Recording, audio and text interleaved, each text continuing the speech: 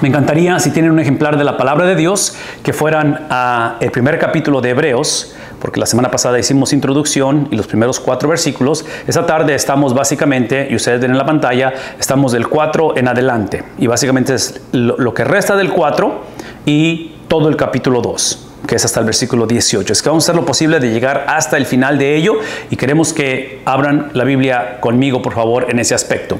El versículo 4 realmente lo que es es la transición que está haciendo gramaticalmente el libro o el capítulo de lo que es versículos 1 al 3, donde habla acerca de no solamente no solamente quién es quien ha hecho la revelación de Dios, que es Cristo, pero cómo fue llevado a cabo. Entonces, la semana pasada ustedes recuerdan, versículos 1 al 3, hablamos acerca de que a través del tiempo Dios habló a través de los profetas. Inclusive, ahorita nos vamos a adentrar un poquito más, pero nos adentramos en la cuestión de cómo había o hay en el Antiguo Testamento tres diferentes oficios, de los cuales a cada uno de ellos se les dio el título de Mesías o de ungidos. Entonces, hablamos de profetas, hablamos de sacerdotes y hablamos de reyes.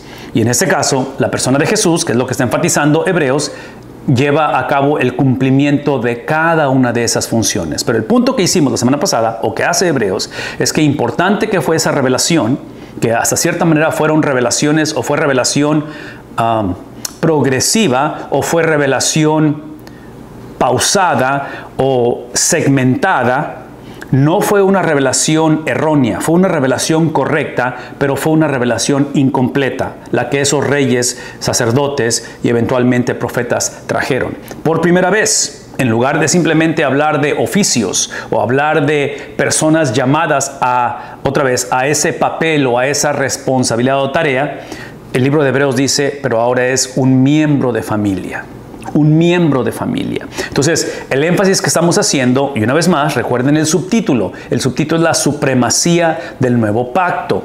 Y este nuevo pacto, especialmente la palabra nuevo, lo que tiene de nuevo en contraste al antiguo pacto, es precisamente que el antiguo pacto era un pacto del cual estaba basado o condicionado a la obediencia o condicionado a la desobediencia, ¿verdad? Pienso en Deuteronomio capítulo 27, capítulo 28, que es Moisés leyéndoles la cartilla, como luego decimos, al, al, pueblo de Dios conforme van a poseer la tierra. Esto es el final de Deuteronomio, están por poseer la tierra. Y básicamente Moisés les dice, basado en el pacto antiguo, que en este caso para ellos es único que conocen, ¿verdad? Es el pacto que tenían de la ley, en el cual si me obedecen van a ser bendecidos, si me desobedecen van a ser maldecidos, ese es el punto. Entonces, ese pacto antiguo estaba basado en obediencia. Cuando hablamos del pacto nuevo, lo nuevo del pacto es precisamente que este nuevo pacto sigue, sigue estando basado en obediencia, pero ahora no es la obediencia del pueblo de Dios, es la obediencia de un solo judío, y su nombre es Cristo. Entonces, lo que tiene este pacto de novedad es que Cristo es el que obedece y Cristo es el cumplimiento de ese pacto. Entonces, cuando hablamos acerca de la supremacía del nuevo pacto, realmente lo que está diciendo Hebreos empezando en el 1, versículo 1, 2 y 3 de la semana pasada, estamos hablando de la supremacía de quien cumplió el pacto, que en este caso es la supremacía de Cristo. Versículo 4 lo que hace es que transiciona de esa supremacía de Cristo, específicamente ahora con respecto a la revelación, una vez más, revelación, ¿verdad? Antiguo Testamento no está mal, está incompleta, ¿sí? Entonces Cristo tiene supremacía sobre la revelación especial. Él es la revelación, uh, él es la revelación suprema, revelación especial en la palabra de Dios, Él tiene supremacía de ello. En el 4 transiciona y ahora va a hablar de la supremacía sobre los ángeles. Por eso es que en el versículo 5 dice, porque a cuál de los ángeles dijo Dios jamás. Ahora, antes de leerlo, déjenme regresar un poquito a la película porque me acabo de acordar al ver las mayúsculas que están ahí, y es lo que vamos a ver el resto del capítulo 1, mayúsculas, es de que hablar de la superioridad del Hijo sobre los ángeles, lo que va a hacer el escritor de Hebreos va a usar las referencias, va a usar otra vez esa revelación especial que no está mal, está incompleta, es lo que usa como punto de partida. Entonces lo que vamos a estar viendo a través de esta noche, versículo capítulo 1, es precisamente ese contraste entre referencias del Antiguo Testamento, porque es obvio, que es la Biblia de ellos, Antiguo Testamento cumpliéndose ahora a través de la persona de Cristo. Una vez más, Antiguo Testamento cumpliéndose ahora a través de la persona de Cristo. Por eso está diciendo que Él nunca, Él nunca, dice, porque a, cuál de los ángeles dijo, Dios jamás, Hijo mío eres tú. Esta referencia, otra vez, observen la referencia, son las referencias que encontramos en el Nuevo Testamento con respecto, por ejemplo, la, la, la voz auditiva que sale o que, que, es mencionada en el bautismo de Jesús. Este es mi Hijo amado en el cual encuentro complacencia. Lo encontramos en la transfiguración y lo encontramos en la resurrección. Una vez más, eventos trascendentales de supremacía de Cristo, del cual Él está diciendo, no solamente tú eres mi Hijo, mi Hijo amado, pero dice yo te he engendrado hoy. El lenguaje es del Antiguo Testamento porque la referencia es el Salmo 2, capítulo 2, versículo 7. Y en este caso, lo que tenemos que ver en contraste, porque aquí están los principios teológicos y doctrinales de este libro de Hebreos, que es típico de, este tipo de escritura, es la cuestión de que está enfatizando, vean lo que está diciendo, está hablando acerca de cómo fue engendrado hoy, entonces está reconociendo la deidad de Cristo, el el, el, entender o el reconocer que es eterno. Ahora, otro paréntesis, acuérdense de esto. Uno de los propósitos, hay varios, pero un propósito principales por los cuales estas epístolas son escritas, hay, hay varios propósitos, pero uno de ellos es que estas generaciones literalmente anticipaban que Cristo venía en su generación. Entonces, al ver el retraso, al ver que Cristo no regresa como anticipábamos cuando decíamos o pensábamos nosotros, es que ellos ven la necesidad de poner por escrito estas enseñanzas que originalmente circulaban de una manera oral. En otras palabras, en las casas, en las sinagogas empezaban a, las enseñanzas de Cristo, eventualmente las ponen por escrito. La otra razón por qué esto es necesario es porque la iglesia está atravesando confusión interna, persecución y eventualmente hay corrupción en el liderazgo. Entonces, todo esto lo estoy mencionando porque cuando hablamos acerca de la deidad de Cristo, y está usando esta referencia de que yo te he engendrado, es el contraste donde hace referencia a que dentro de esa deidad, del Cristo que es eterno, que es Dios mismo, en este tiempo, en estas generaciones, había un conflicto muy grande. O sea, había, había una, una confusión precisamente en la persona o en el carácter de Cristo, que es lo que estamos mencionando aquí. Entonces, esto lo estoy haciendo como referencia o lo estoy llevando a, a mencionando ahorita, porque cuando habla acerca de que yo te engendré, está hablando de su encarnación, no tanto de su deidad. Porque una vez más, parte de la confusión es que a través de las edades ha habido doctrinas que dicen que la persona de Cristo, la segunda persona de la Trinidad, su vida o su, o su esencia inicia a través del nacimiento virginal, lo cual es obvio que no es cierto. Entonces, piensen en la referencia de Juan, otra vez, pensando acerca de la deidad de Cristo, que es una de las doctrinas extremadamente importantes. Y dice, y otra vez yo seré padre para él. Esta cuestión de ser padre para él, originalmente, pensando en el, uh, segundo libro de Samuel, capítulo 7, es algo que se le atribuyó a Salomón. Pero si ustedes piensan conmigo en una referencia, por eso está la cuestión de doble profecía, o es profecía con énfasis doble, es lo que quiere decir esto. En otras palabras, en términos en términos de interpretación de la Biblia, toda la Biblia, con la excepción de esta, con la excepción de esta, de este género literario, toda la Biblia tiene solamente un mensaje. Hay, hay, un, solo mensaje. Por eso cuando hablamos de hermenéutica o interpretación de la palabra de Dios, la función del intérprete ¿sí? es precisamente descubrir cuál es ese punto. Cuál es, por, por eso siempre decimos que el, el, punto del texto es el punto del sermón. O decimos que el texto determina el sermón. Lo que no queremos hacer es crear un sermón y buscar versículos que simplemente me permitan Uh, enfatizar o me permitan corroborar lo que de antemano quiero decir. No, no, no. Iniciamos con el texto. Y menciono esto porque hablar del punto del texto en, en, en profecía muchas de las veces son dos puntos. Entonces, en profecía encontramos un punto para la generación o la audiencia que están escuchando el mensaje en ese momento y encontramos el punto que tiene que ver con lo que está por venir. Clásico ejemplo, Isaías 7:14. La Virgen concebirá y dará a luz un hijo. Llamará su nombre. Ok, el punto es este. El punto es que desde la perspectiva de Isaías, que está hablando a Acaz en el capítulo 7, versículo 14, al, al, encontrarme con el pasaje, y estoy usando esto como referencia precisamente por el ejemplo con Salomón, porque aquí es otro ejemplo de ello, ¿sí? Hay, una, hay un entendimiento, hay un mensaje que está dando Isaías a Acaz. Y el intérprete es responsable de descubrir qué es lo que está diciendo Isaías y qué es lo que está entendiendo Acaz, porque ahí es donde está la autoridad de la Biblia, ¿verdad? Pero sabemos que ese mismo pasaje, esa misma referencia, la hace Mateo en el Evangelio de Mateo. Entonces, tenemos que también ver esa referencia. El punto que estoy tratando de hacer es que cuando el libro de Hebreos habla y dice que yo seré padre para él, la referencia inicia con Salomón, pero obviamente es aplicada a la persona de Cristo en el libro de Hebreos. Versículo 6. De nuevo, cuando, cuando trae el primogénito al mundo. Este lenguaje de primogénito, otra vez, tiene características peculiares, el ser primogénito, y es el hecho de que el primogénito recibe o recibía doble porción con el propósito de cuidar de sus padres. Otra vez, piensen conmigo, estas son culturas donde, donde la vida estaba integrada. En estas culturas no existe la fragmentación que tenemos hoy en día, en, en el individualismo. Entonces piensen en términos de clanes o de tribus, donde el cuidado de los padres literalmente era de los hijos. Entonces, hablamos acerca de esa primogenitura como el privilegio de recibir doble porción de la herencia para cuidar de los padres. Hablamos acerca de que muchas veces el término de primogénito, basado en el Salmo 89, habla de los reyes de Israel.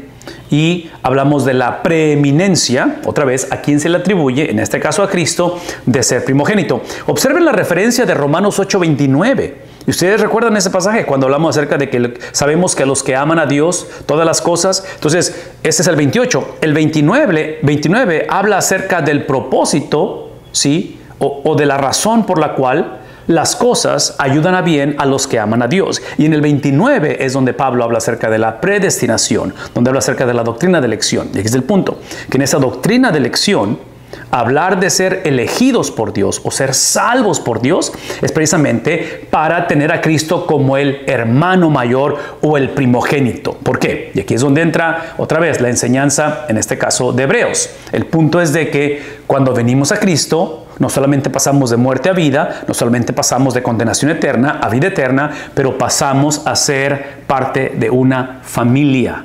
Entonces, por eso el lenguaje de primogenitura, ¿sí? Y, al final está el concepto de que Él es el primero, primogenitura, de una nueva raza, de un nuevo pueblo, ¿verdad? Somos el, el nuevo Israel, si lo pueden usar ese término. En fin, el punto aquí es la preexistencia de Cristo, este lenguaje que está usando. Ustedes recordarán que lo que he usado como ejemplo para ilustrar la preeminencia y preexistencia o deidad de Cristo es este, esta galleta o este pan llamado pretzel, que en algunos países lo conocen.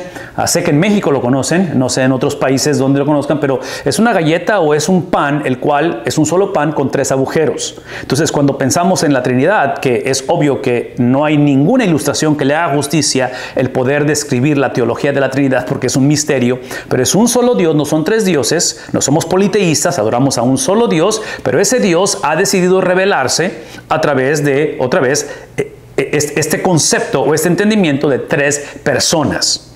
Y cuando hablamos de tres personas es que viven en esa armonía, en esa unidad de la cual estamos describiendo la deidad de Cristo. Porque el hecho de que Cristo sea la segunda persona de la Trinidad y el hecho de que Cristo se somete al Padre eso no altera su esencia.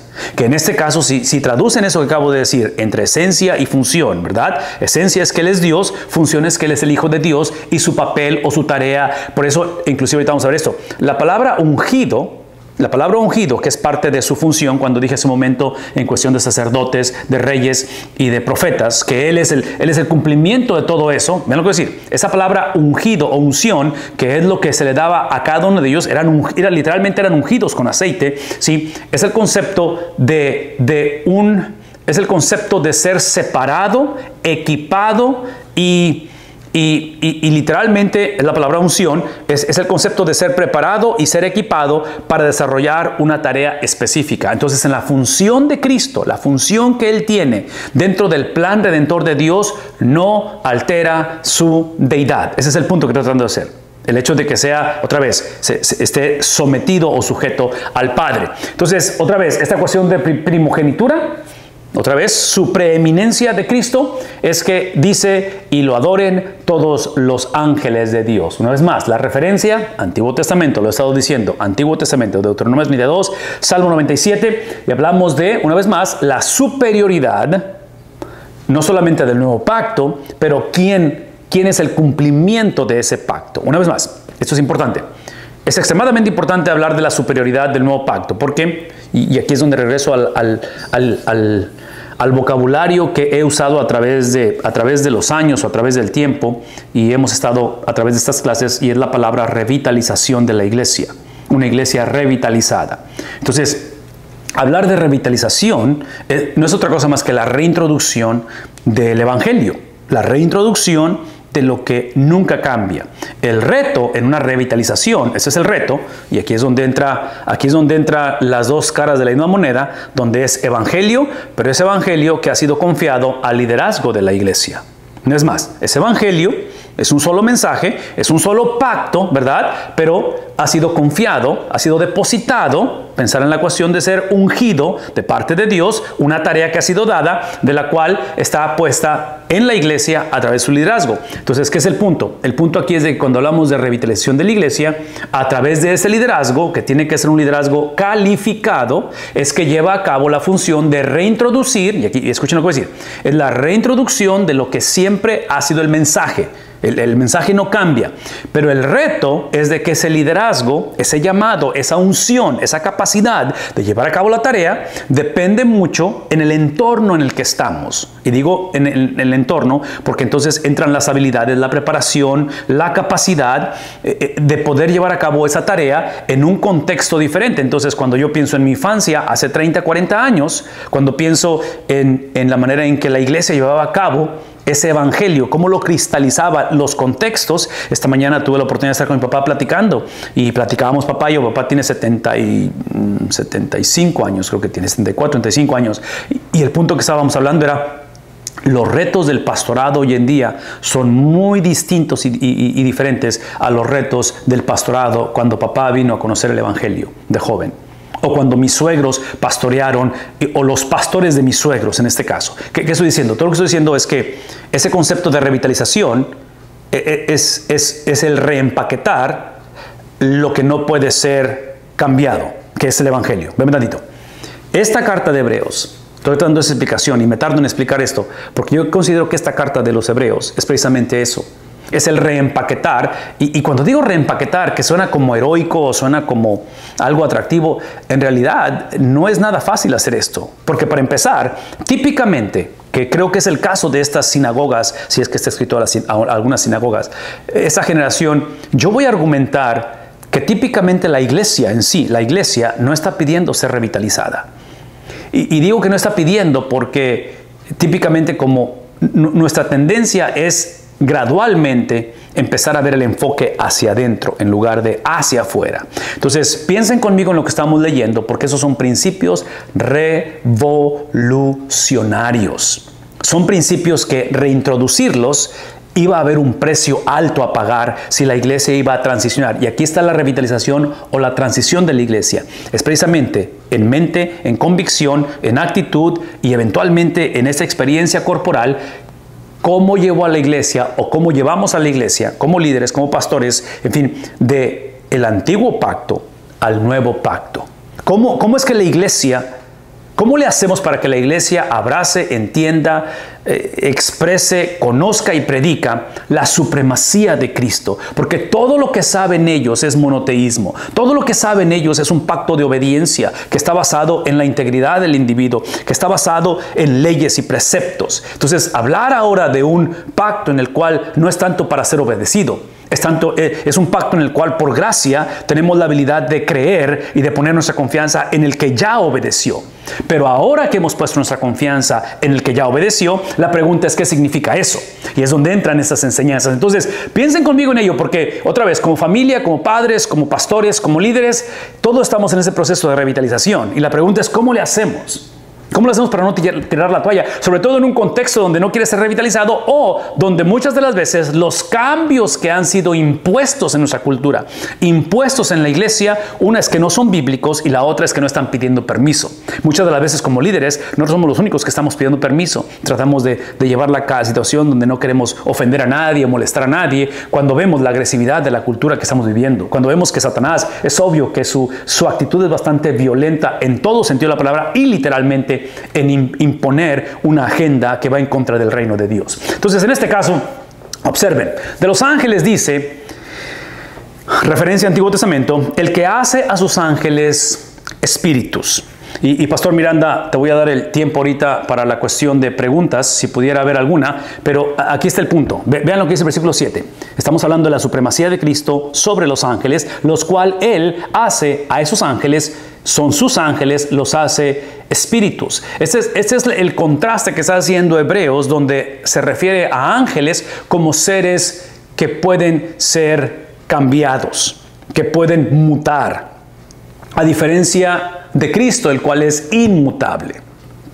Es otra característica de la supremacía, de la deidad, de la, del, Cristo que es eterno, de la eternidad de Él en este caso. En fin, hablamos acerca de... Oh, antes de moverme, antes de moverme, déjenme regresar a eso rápidamente.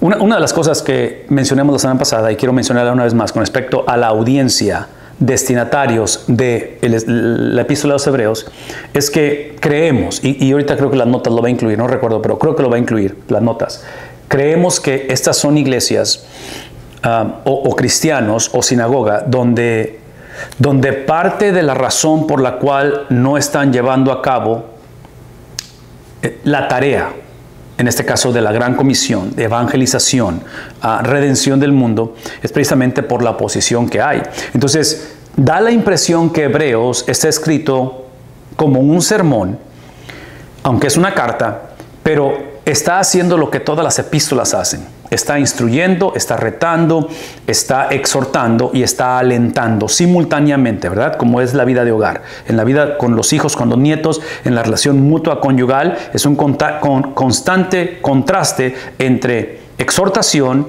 y entre alentarnos o animarnos. Menciono todo esto porque cuando hablamos del el Cristo que es inmutable, el Cristo que está usando, en este caso, el, ámbito, el entorno invisible, en este caso de seres angelicales, seres espirituales, nos recuerda, en este caso el libro de los Salmos, y nos recuerda el libro de Hebreos, que aún los seres invisibles cambian, son inconstantes, pueden ser moldeables, pero el Dios de la Biblia, aún en un contexto de sufrimiento, de padecimiento, de persecución para la iglesia, Dios no cambia es el mismo a través de las edades. Entonces, quiero que esta noche sintamos el sabor, sintamos el, énfasis de decir, ok, sé que tú, sé que tú, tu etapa que estás viviendo, la transición de una iglesia, tal vez el declive de la salud que estás viviendo, tal vez estás en una experiencia donde los hijos están saliendo de casa, en cualquiera que sea, donde encontramos estas, estas variantes en la vida, es regresar a decir y decir, hey, el Dios de la Biblia es constante a través de las edades. Pero una vez más, dice, dice, pero del, Hijo, dice, tu trono, oh Dios, es por los, otra vez el contraste, tu trono es por los siglos de los siglos. Una vez más, Salmo 45 es la referencia donde hablamos acerca de la eterna, eternidad de Cristo, su deidad. Él no cambia a través de las edades. Y cetro de equidad es el cetro de tu reino, dice el escritor. Has amado a la justicia y has aborrecido la iniquidad. Una vez más, está haciendo esta reflexión en la persona de Cristo, pensando y describiendo su superioridad, su supremacía, ¿verdad? Es un nuevo pacto y es quien cumplió el pacto, que es Cristo. Y dice en este caso, has amado la justicia y aborrecido la iniquidad, que en este caso está describiendo precisamente la vida terrena. Es lo que Cristo hizo cuando estuvo aquí en la tierra. Pastor Miranda, ¿tendrás algún comentario o pregunta, hermano? Sí, claro. Em, nuestro hermano Obed nos eh, pregunta, bueno, hay dos preguntas que son bien importantes como todas, ¿no?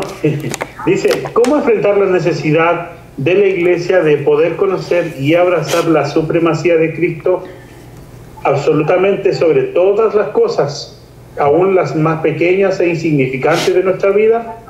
¿Cuál debería ser nuestra actitud e intención con nuestras congregaciones? Esa es una. Y la otra, en cuanto a la supremacía de Cristo sobre los ángeles, nuestra hermana Guadalupe Villegas eh, nos dice que en el versículo 11, lo acabo de leer también, dice que ellos perecerán. Eh, la pregunta los ángeles, que ellos envejecerán. También lo dice ahí, eh, está pidiendo, digámoslo, razón de si son los ángeles o a qué se refiere ese versículo bíblico. Excelentes preguntas, gracias, gracias hermanos a ambos por su pregunta. Déjame tratar de responder una a la vez y, de ahí nos movemos hacia adelante. En cuestión de la supremacía de Cristo, la pregunta tiene que ver de cómo podemos mantener o reintroducir o enfatizar la supremacía de Cristo en la iglesia hoy en día. Si pensamos en términos de redención, de salvación del hombre, la salvación del hombre es precisamente el aceptar, el confesar, el reconocer la supremacía de Cristo.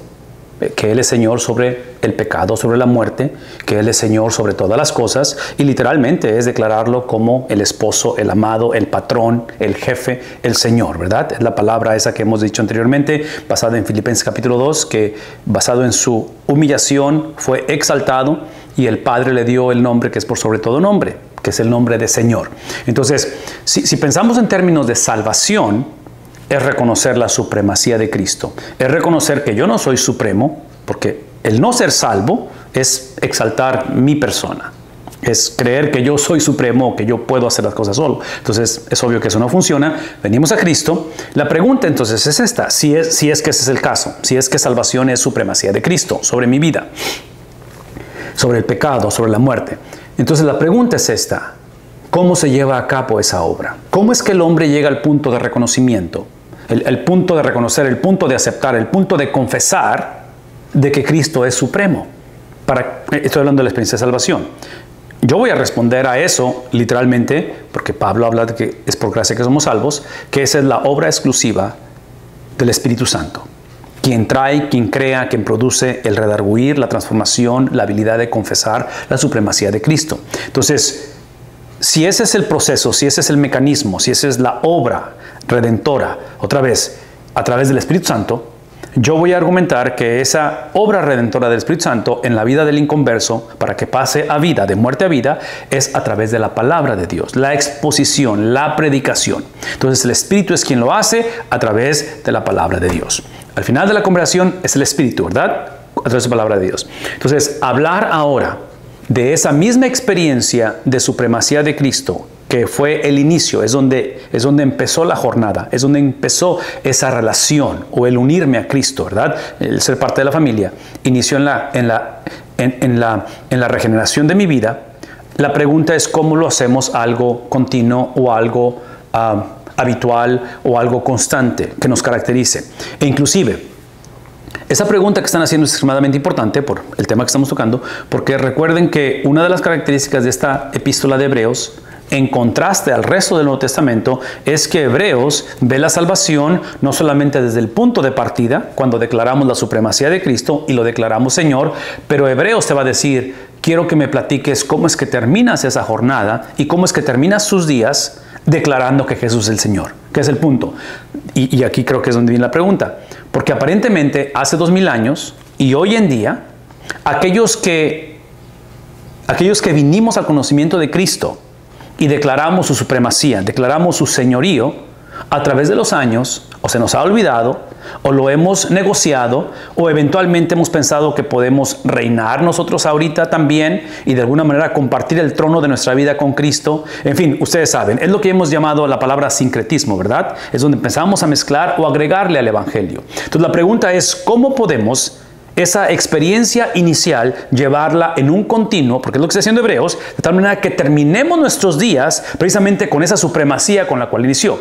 Yo voy a argumentar, y esta es la manera en que lo voy a decir, que la manera en que podemos llevar a cabo esa continuidad de supremacía y reintroducirla como algo habitual en la iglesia es fidelidad a la exposición de la palabra de Dios, porque es lo único de lo cual Él se hace responsable y la palabra de Dios es lo que va a permitir que el Espíritu Santo intervenga y crea, forme en la iglesia reenfatice la supremacía de Cristo. De tal manera que cuando la iglesia obra, actúa, lleva a cabo su función, la manera en que vivimos en el hogar, en la sociedad, ¿sí? actuamos bajo los estatutos, los preceptos, el entendimiento, la cosmovisión, la, perspectiva del ser supremo que es Cristo. Donde ahora mis preferencias personales, mi educación, mi crianza, ah, mi experiencia que tuve, eh, todo eso pasa a ser secundario o literalmente nulificado porque ahora se trata de la persona de Cristo. Se trata acerca de su otra vez de su perspectiva y de su conocimiento.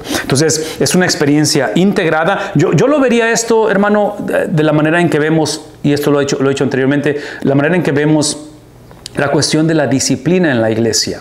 La disciplina en la iglesia no es algo que se ejerce, es algo que se enseña. Porque si la quieres ejercer sin enseñarla, va a ser problema muy serio. Entonces, lo que haces es que la enseñas para que cuando sea necesaria, la ejerzas. ¿Qué estoy diciendo? Que la disciplina en la iglesia es algo que tiene que ejercerse, o perdón, enseñarse habitualmente. De tal manera que cuando tienes que ponerla en acción, sea como la pongas en acción como producto del flujo de la, de la constante enseñanza e introducción que estás presentando semanalmente, ah, ah, en fin, cada vez que la palabra es expuesta. Yo diría que es exactamente lo mismo que estamos hablando aquí. Es, es, precisamente el propósito por el cual somos salvos. Somos salvos para desplegar la supremacía de Cristo en un contexto de limitaciones. Piensen en el caso de Abraham.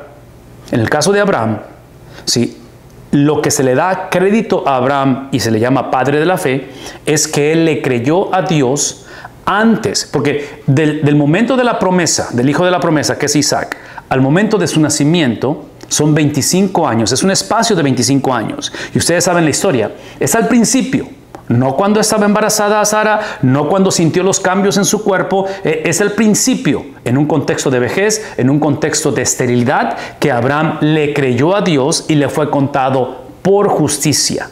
Entonces lo que hace Abraham está, declarando la supremacía, está hablando de la confiabilidad y la veracidad de lo que Dios está diciendo. Entonces el punto es este, de que Abraham tiene esa habilidad de confiar en la voz, en la palabra de Dios, en el hecho de que cuando Dios declara algo, existe, sucede. Esa habilidad que Abraham tuvo de confiar en Dios, y de poner otra vez su dependencia en lo que Dios estaba diciendo, emana de la gracia de Dios.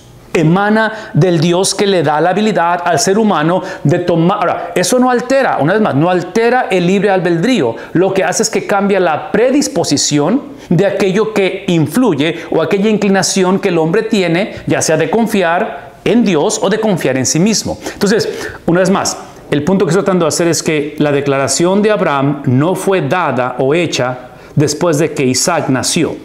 La declaración de Abraham fue dada cuando nada de lo que estaba a su alrededor tenía sentido. E, e, era inconcebible y una locura, de tal manera que la esposa se va a reír, se va a burlar. Entonces, ¿qué es el punto? El punto es que hablar de la supremacía de Dios es desplegar el carácter de Dios en contextos no favorables. Ese es mi punto.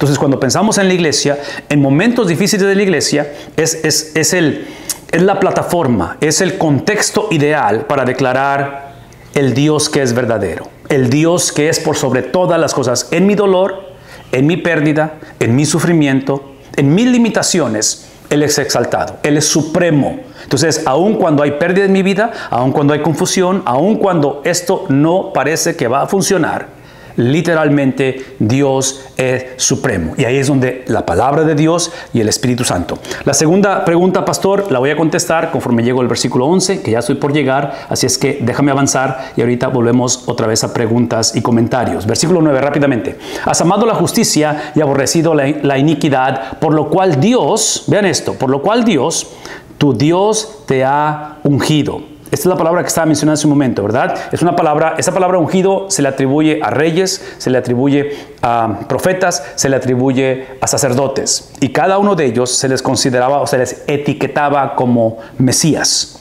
en el Antiguo Testamento. Entonces, hablamos acerca de esta definición como la, otra vez, Isaías 6, 61, perdón, 1, es la provisión y elección de Dios. Dios provee, Dios elige, ¿sí? Para llevar a cabo una asignatura precisamente de Dios. Entonces es donde viene este término donde dice que yo te he ungido.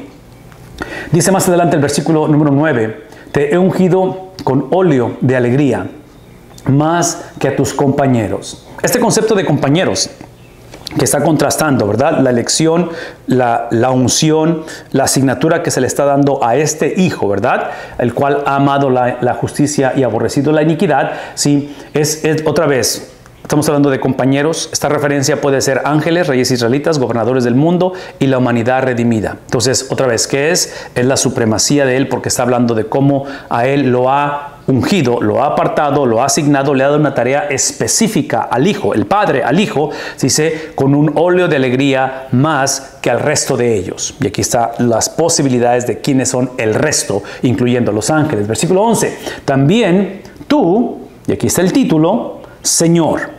Este título, una vez más, es el título que en el Antiguo Testamento, especialmente en el Salmo 102, es de referencia al Dios Padre, al Creador de las cosas. Y en este caso es el mismo título que se, le está atribuyendo a Cristo, que es el punto, de que está usando el mismo lenguaje, el mismo título para describir al prezzo, para describir al Dios trino, para describir la deidad de Cristo en este caso. Una vez más, también tú, Señor, en el principio pusiste los cimientos de la tierra y los cielos con obra de tus manos.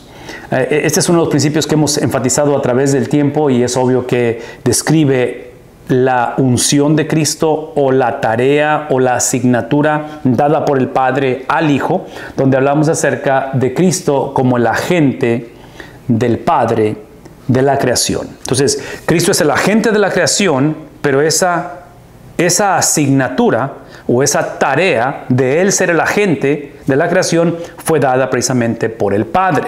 Entonces aquí es donde regresamos al concepto de unción. Y eso es extremadamente importante porque esto nos habla una vez más de la eternidad de Cristo, de, que Él está al principio de las cosas, ¿verdad? Génesis 1.1, en el principio en el principio, antes de todas las cosas. Él es la razón, Él es el creador de las cosas. Las cosas son creadas por Él y para Él y son sostenidas ahorita precisamente por Cristo. De tal manera que dice, ellos perecerán. Y otra vez, ¿de quién está hablando el ellos? Y es lo que estamos preguntando ahorita. Si regresamos al contexto, ¿sí? De, quién está hablando, en este caso, observen todas las cosas que Él ha creado, lo creado, de lo cual entro en la lista que puse ahorita con respecto a ángeles, reyes israelitas, gobernadores del mundo, en fin, todo lo que ha sido creado es la cuestión de ese ellos, ¿sí? Ellos perecerán, pero tú permaneces y todos ellos como una vestidura se envejecerán. ¿Qué es el punto? De que hablar, y, la pregunta tuvo que ver con los ángeles, ¿verdad? Si los ángeles envejecían, si los ángeles, y ese es el punto. Pensemos en términos aunque nosotros no seremos transformados como ángeles cuando, cuando estemos ante la presencia del Señor, ustedes saben que este periodo, que, el cual se le conoce como un periodo transitorio, cuando aquellos que han ido ante la presencia del Señor en este momento, que están, eh, eh, están ante la presencia de Dios sin su cuerpo físico, porque ustedes recordarán que ausente del cuerpo, presente ante el Señor. Entonces el, espíritu sale de la persona y va ante la presencia de Dios instantáneamente. Entonces ahorita que están ante la presencia de Dios, no tienen ese cuerpo. Ese cuerpo lo recibirán o lo recibiremos en la segunda venida, ¿verdad? Es el cuerpo glorificado, que es el punto. Que el estar ante la presencia de Dios y estar en el cielo con Él, reinando para siempre, como son los ángeles mismos y seremos nosotros, que no seremos ángeles, entonces el concepto de que vamos a recibir unas alitas y arpas y eso y que vamos a andar, no, no, no, eso no es bíblico, pero aquí es el punto. El punto es de que somos seres creados, somos seres finitos. Entonces el concepto de decir que el cielo es una eternidad está basado precisamente en que ese es el tiempo que nos va a llevar en conocer el carácter de Dios o la persona de Dios, porque como Él es infinito, el estar en el cielo, seguimos, seguimos siendo seres finitos. No vamos a ser transformados a ser dioses o como dioses. Entonces menciono esto porque hablar de ángeles, ¿sí? Estamos hablando de seres. Todo es, todo es creación, ese es mi punto. Solamente hay un creador y todos somos creación. Obviamente somos la corona de la creación y tenemos un lugar especial que vamos a hablar ahorita acerca de esto. Pero en este caso, vean el contraste. Ellos van a perecer, tú permaneces, ¿sí? Y todos ellos como una vestidura se envejecen. Esto habla una vez más de la eternidad del Hijo, donde hablamos acerca de que esta defensa es lo que los profetas, vean a decir, este es el tipo de defensa que los profetas presentaban en la corte es el lenguaje, ¿verdad? En cuestión de, perecer, en la cuestión de cómo envejecen, es cuando los profetas se presentaban delante en la corte para expresar cómo es que Dios estaba inconforme con su pueblo. Y como un manto los enrollarás, como una vestidura serán medados Dice, pero tú eres el mismo y tus años no tendrán fin. No, no sé de qué manera explicar esto más, lo hemos estado enfatizando, pero es el aspecto inmutable, el carácter. Y otra vez, vean la referencia, Salmos contrastado con uh, Nuevo Testamento en el libro de Santiago en este caso. ¿ok? Dice el versículo 13, pero a cuál de los ángeles jamás ha dicho Dios, siéntate a mi diestra hasta que ponga a tus enemigos por estrado de tus pies. Una vez más, escuchen lo que está diciendo. Pero a cuál de los ángeles jamás Dios jamás le ha dicho, siéntate a mi diestra. Entonces, ¿a quién le ha dicho que se siente? Y otra vez, piensen conmigo en esto, porque creo que esto viene más adelante, y lo mencionamos la semana pasada. Ah, hemos estado hablando acerca de los ungidos o el ungido de Dios, sacerdotes, profetas y reyes. Tenemos dos líneas desde la perspectiva de la nación de Israel, donde tenemos una línea de realeza, donde vienen los reyes, y una línea de sacerdotes. En el caso de Cristo, Él es la fusión de ambas líneas. Tiene la cuestión de su realeza, es el rey de reyes, el señor de señores, viene de esa simiente de David, ¿verdad? En cuestión de realeza, pero también, en el caso de Él, Él es de la tribu de Leví donde viene esa cuestión sacerdotal, que es el punto, de que Él, otra vez, Él es la función de todo ello. Y menciono esto porque hablar de sentarse a mi diestra, nunca en la historia de la antigüedad, la historia del Antiguo Testamento, el sacerdote se sentaba. El sacerdote siempre estaba de pie ante la presencia de Dios. Entonces, el sentarse presenta a Cristo dentro de ese linaje sacerdotal como el sumo sacerdote. Ese es mi punto. Es su supremacía sobre el linaje aún sacerdotal. Entonces, hablar de ese linaje sacerdotal, hablar de ese linaje de realeza es simplemente el vehículo que Dios usó a través de la historia para separar o para ungir a ciertos individuos para llevar a cabo esa tarea de revelación donde revelaba el carácter de Dios, el cual una vez más no estuvo mal, pero estuvo incompleto. Y Hebreos inicia diciendo por primera vez, lo que nos está entregando no es un oficio o alguien que desarrolle un oficio, nos está presentando nos está revelando su carácter, su esencia a través de el Hijo. Y acuérdense, el Hijo es con H minúscula, porque el énfasis no es la deidad de Cristo, sino que es miembro de familia. Y eso es extremadamente importante conforme avanzamos a través de la epístola. Entonces, en este caso, le dice, ¿a quién le ha dicho que se siente a su diestra? Solamente a él, ¿verdad? Es un salmo mesiánico, la referencia, capítulo 110 del libro de Salmos, aquí está la referencia que estaba haciendo, ah, yo sabía que venía, no estaba seguro dónde venía, pero es la cuestión de realeza con sacerdocio, en Cristo se fusionan ambos linajes en ese aspecto. No todos, versículo 14, no son todos ellos espíritus ministradores, hablando de los ángeles, enviados para servir por causa de los que heredan la salvación. Eso es extremadamente importante, ven el lenguaje, está describiendo, no son ellos espíritus ministradores, o sea, eh, en palabras, Regresen conmigo un poquito al, entendimiento o a la perspectiva. Desde el punto de vista de seres humanos, es obvio que seres angelicales o seres espirituales son superiores al hombre. ¿Estamos conscientes de ello ahorita o no? Si estamos conscientes de ello, entonces es obvio que Satanás, siendo un ser espiritual, es superior al hombre. Estoy hablando de a nivel creación. Ambos somos seres creados, pero es obvio que hay superioridad en cuestión de ángeles, en cuestión de demonios, en cuestión de Satanás. Este es mi entendimiento de las cosas. No tenemos que estar de acuerdo en lo que estoy por decir, pero esto es lo que yo entiendo dentro de los designios de Dios o del plan de Dios, de por qué es que si el universo es tan vasto, el, universo, la creación es tan grande, ¿por qué es que Dios escoge poner en este planeta llamado Tierra, entre paréntesis, ser creado Satanás, sumamente supremo, sumamente poderoso, pero no tiene los atributos de Dios. ¿Qué implica ello? Que no es omnipresente. Él no está en todos lugares. Satanás solamente puede estar en un solo lugar a la vez, como tú y como yo, que es el punto. De que si Satanás es un ser creado, o porque es un ser creado, Satanás va a estar donde Dios lo deposita, donde Dios le permita estar. Y la pregunta es, ¿por qué Dios permite o por qué Dios escoge en su plan redentor, poner a la corona de la creación, que somos nosotros, ponerlo en el mismo planeta donde está este ser supremo maligno y donde su propósito es destruir y matarnos. ¿Por qué?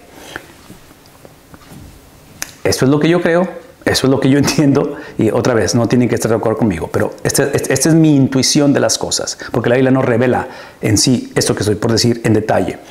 Yo creo, yo entiendo, porque estamos hablando de seres angelicales, seres espirituales, y estamos hablando de Cristo como, otra vez, supremacía de Cristo sobre todo esto, es de que Dios ha escogido poner a un ser inferior, que somos nosotros, en el mismo lugar coexistir con un ser superior, que es Satanás, por ser un ser angelical, lo ha puesto en el mismo lugar porque Dios ha querido demostrar lo que Él puede hacer o que puede hacer mucho más con un ser inferior conectado a Dios que con un ser superior desconectado de Dios. Una vez más, voy a tratar de explicar esto. Dios nos ha puesto en el mismo lugar, porque si se pone a pensar, la vida sería muy diferente para el ser humano si Satanás estuviera en otro planeta, si los demonios habitaran en otra galaxia. Pero estamos, coexistimos en el mismo espacio, en el mismo entorno, porque Dios ha decidido que este ser inferior llamado hombre, en dependencia al Dios que es supremo por encima de todas las cosas, puede hacer más con ese ser inferior que con un ser superior desconectado de Dios. Entonces, traduzcan lo que estoy diciendo ahora cuando hablamos de que no todos son ellos espíritus ministradores, siervos, ¿sí? enviados para servir por causa de los que heredan la salvación. Entonces, aquí es el punto. El punto es que los ángeles son servidores, ¿verdad? Ministradores, servidores. Y en este caso, ¿a quién sirven? De acuerdo a lo que estamos leyendo, sirven a Dios y sirven también a la humanidad. Tenemos jerarquía espiritual para los que somos salvos más allá o una jerarquía más grande que los ángeles, que los seres espirituales. No sé, no sé si eso está claro, porque es lo que queremos estar enfatizando ahorita. Entonces, una vez más, sin Cristo, obviamente no tenemos esa jerarquía, sin Cristo estamos a merced y por eso es que, y no sé si esto lo puse, Sí, a mí, se me hace que, a mí, se me hace que está eso ya aquí eh, en, en, las notas y ahorita lo voy a mencionar, pero me adelanto diciendo esto. Satanás no tiene poder sobre la muerte. Quien tiene poder sobre la muerte es Cristo. Satanás tiene poder del temor a la muerte. No es más, Satanás no tiene poder sobre la muerte. Cristo tiene poder sobre la muerte porque ya la venció. Pero Satanás tiene poder del temor a la muerte, que es lo que nos aterroriza o es lo que al mundo lo confunde, ¿no es cierto? Porque Él es el padre de mentiras. No fueron creados a la imagen, e-, esa es la razón, esta es la razón porque son nuestros siervos. Ahora, no, son servidores de nosotros, los ángeles, porque ellos no fueron creados a la imagen y semejanza de Dios, porque los creyentes, de acuerdo a 1 Corintios 5, 6, 1 Corintios 6, 3, los, los creyentes, nosotros como coherederos, juzgaremos a los ángeles y Jesús, esta es la razón porque somos por encima o tenemos jerarquía más allá de los ángeles, porque Jesús no murió para redimir a los ángeles. Ok, ¿tiene sentido eso? Más o menos, estamos conectando aquí porque es el final del capítulo 1. Pastor Miranda, ¿habrá algún comentario o pregunta en esto? Inclusive por los que están escribiendo ahí, Pastor Miranda, que nos encanta que pongan ahí comentarios, pero si alguien necesita hablar abrir su micrófono, siéntanse con la confianza de hacerlo, nada más que otra vez reduzcamos las preguntas que sean concretas para que el tiempo nos alcance. Háblame, Pastor. Sí, la hermana María Domínguez hizo dos comentarios de acuerdo a lo que, confirmando de acuerdo a lo que usted está diciendo, y cita eh, un texto bíblico de San Juan eh, 6:63, dice el Espíritu es el que da vida, el espíritu es el que da vida, la carne para nada aprovecha, las palabras que yo os he hablado son espíritu y son vida. Mm. Y también eh, dice, serán mudados o cambiados como se muda una vestidura. Eh, sin embargo, Cristo es Dios, ¿cierto? Cristo es inmutable.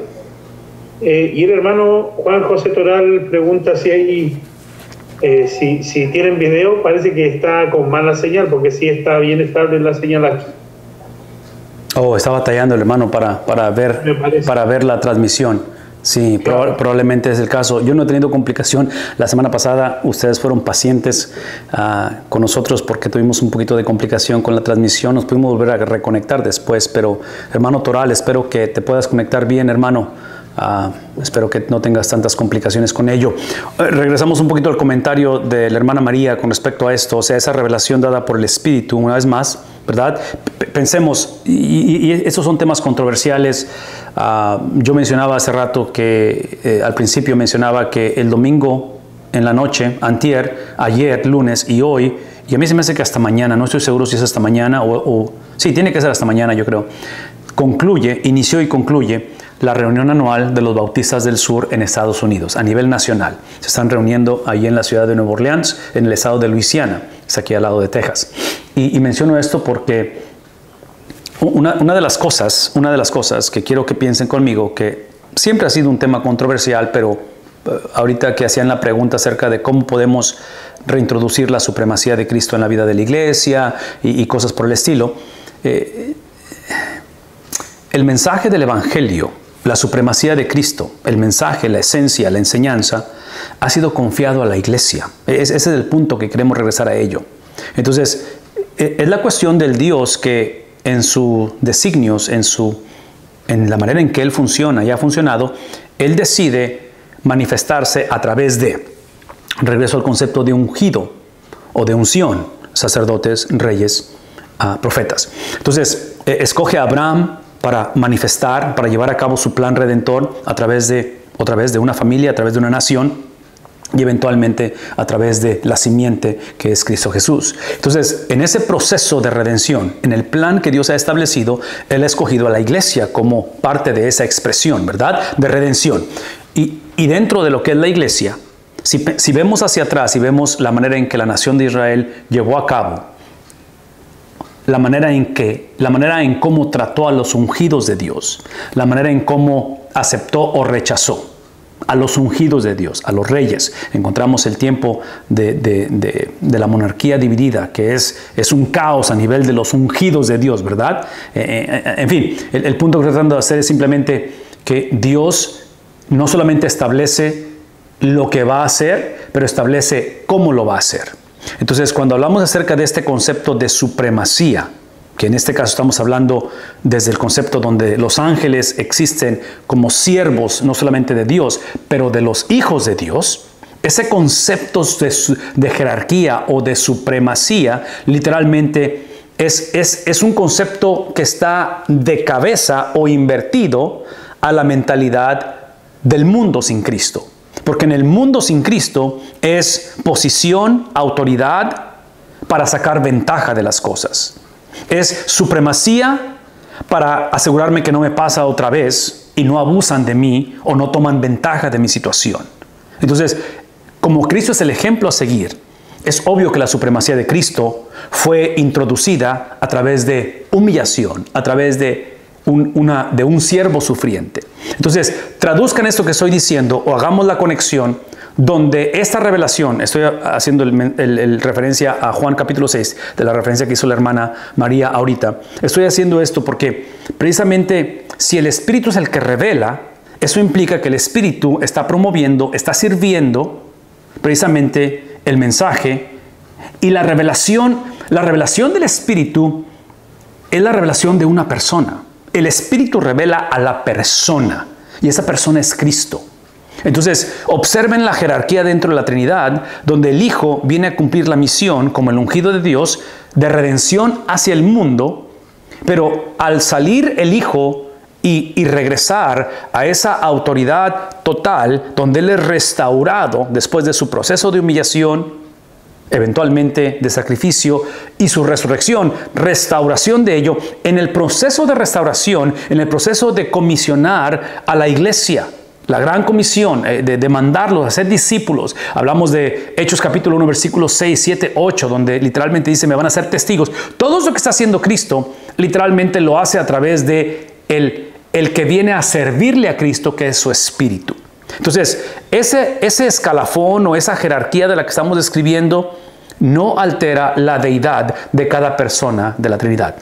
Todo esto lo estoy explicando, hermanos, porque quiero que piensen ahora, pensemos ahora en los sistemas de nuestras iglesias de liderazgo. Quiero que pensemos en los sistemas en el hogar.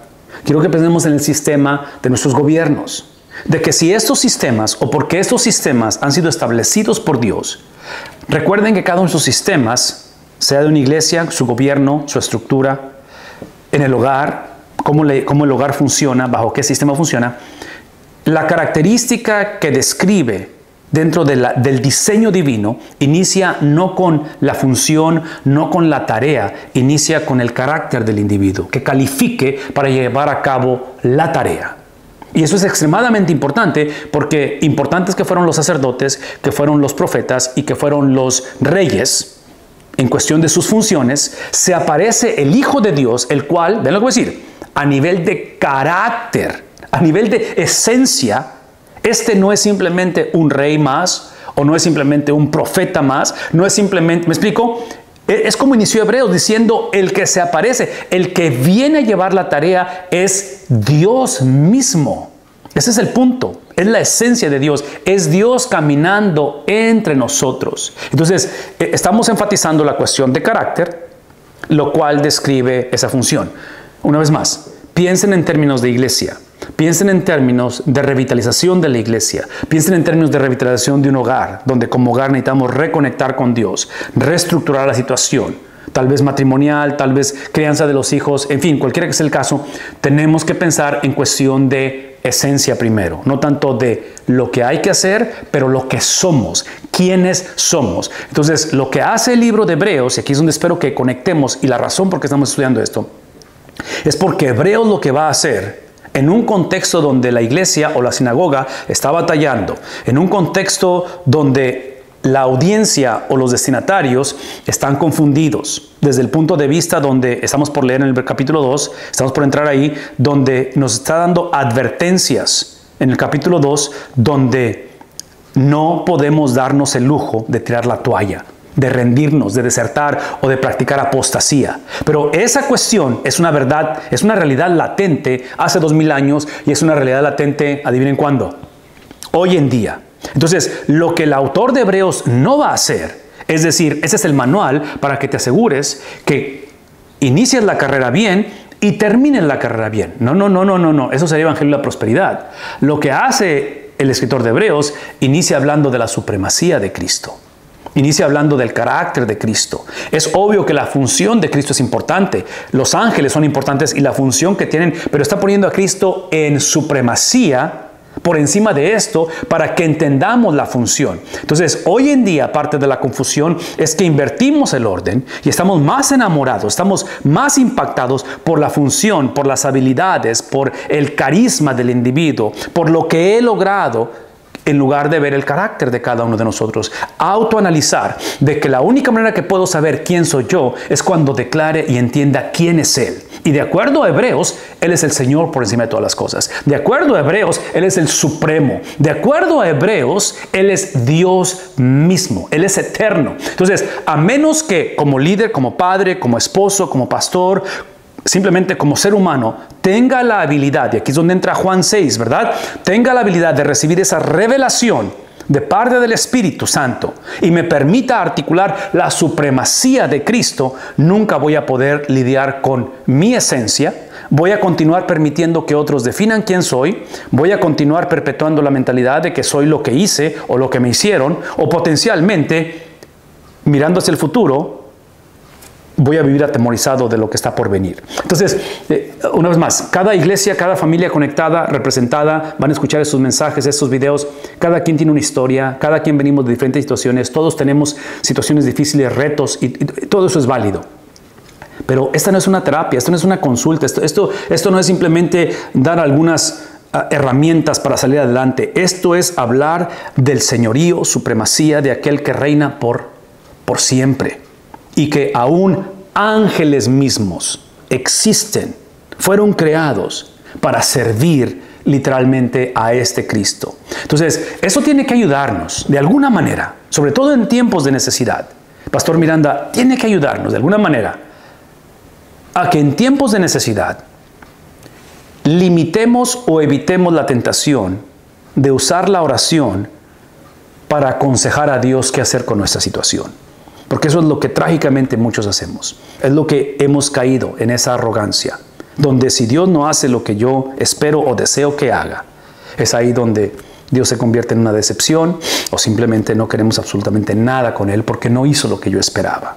Entonces, este mensaje de supremacía de Cristo es extremadamente importante. Pastor Miranda, háblame. ¿Qué piensas de esto?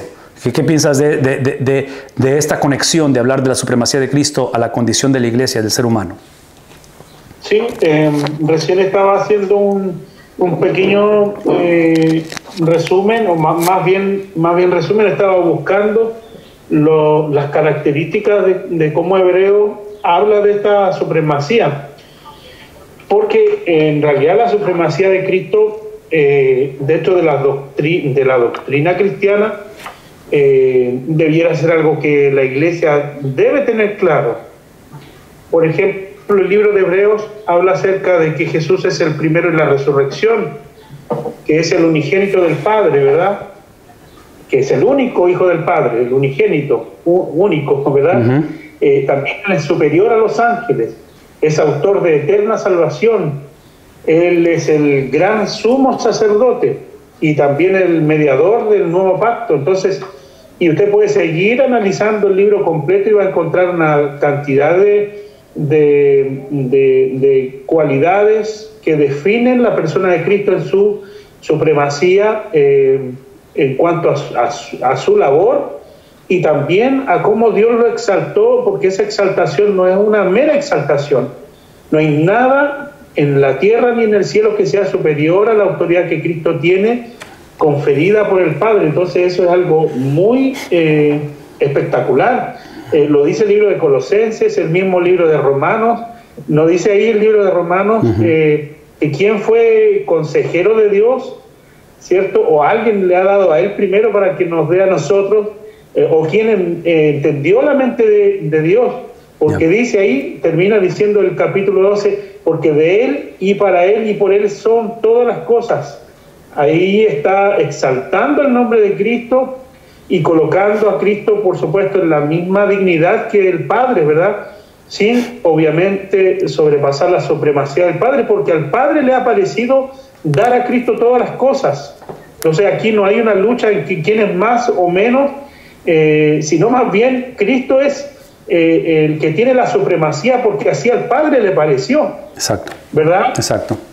Así que eso es lo que puedo Pastor, ahorita esa referencia que acaba de hacer de Romanos me hizo recordar que es parte de la respuesta que hizo, ¿y quién la hizo al principio? Hermano, no, no sé quién fue. La primera pregunta que se hizo con respecto a cómo... ¿Quién fue? Sí. Obed. Obed, ok. Eh, con respecto a la reintroducción a la iglesia de la supremacía de Cristo, aquí está un principio rápidamente, porque necesito entrar al capítulo 2. Rápidamente, Pastor Obed, y, bueno, para todos, pero eso es extremadamente importante, porque la referencia que acabas de hacer con respecto a Romanos, y, y, si tienen, si están anotando, y si no están anotando ahorita, anotarlo y ponerlo en el chat, lo que estoy por decir, porque esto es sumamente importante, porque yo pienso que esto va a dar parte de la respuesta a, a esa pregunta de cómo Piensen en términos de iglesia, piensen en términos de familia y a nivel personal. ¿Cómo, cómo puedo vivir mi vida? ¿Cómo puedo caminar el resto de mis días donde mis decisiones, mis sentimientos, mis pensamientos sean gobernados o sean el vehículo para expresar la supremacía de Cristo? Sobre todo en tiempos de carencia, sobre todo cuando se ve que hay pérdida tras pérdida tras pérdida y dices tú, ok, ¿dónde está Dios? Entonces, aquí está el punto. La referencia que acabas de hacer de Romanos, si no me equivoco, son los versículos 34 en adelante del capítulo 11.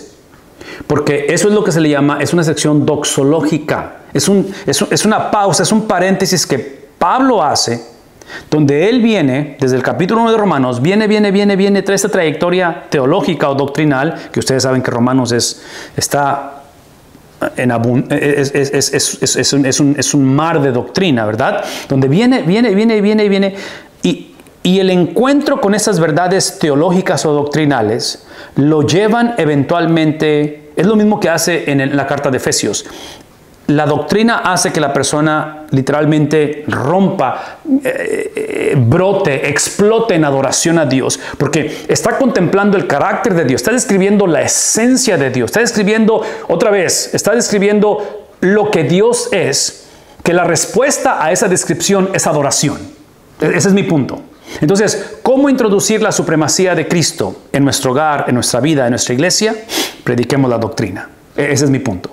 Reintroduzcamos el carácter, la esencia de Dios. Es lo que está haciendo Pablo. Inclusive, ese paréntesis de, al final del capítulo 11 de, Romanos, que es lo que estoy diciendo, e, e, ese, ese, paréntesis donde habla acerca de que quién, quién, conoce la mente de Dios y lo que estabas escribiendo ahorita, sí, que es inescrutable, creo que es la palabra que usa, es lo que hace como paréntesis para introducir la parte práctica, que es en el capítulo 12 en adelante. Así que hermanos, os ruego por la misericordia de Dios y empieza a hablar el resto de Romanos. Entonces, una vez más, ¿cómo introducir esto? Es doctrina, es doctrina, es doctrina, es doctrina, es doctrina, es doctrina, es doctrina, es doctrina.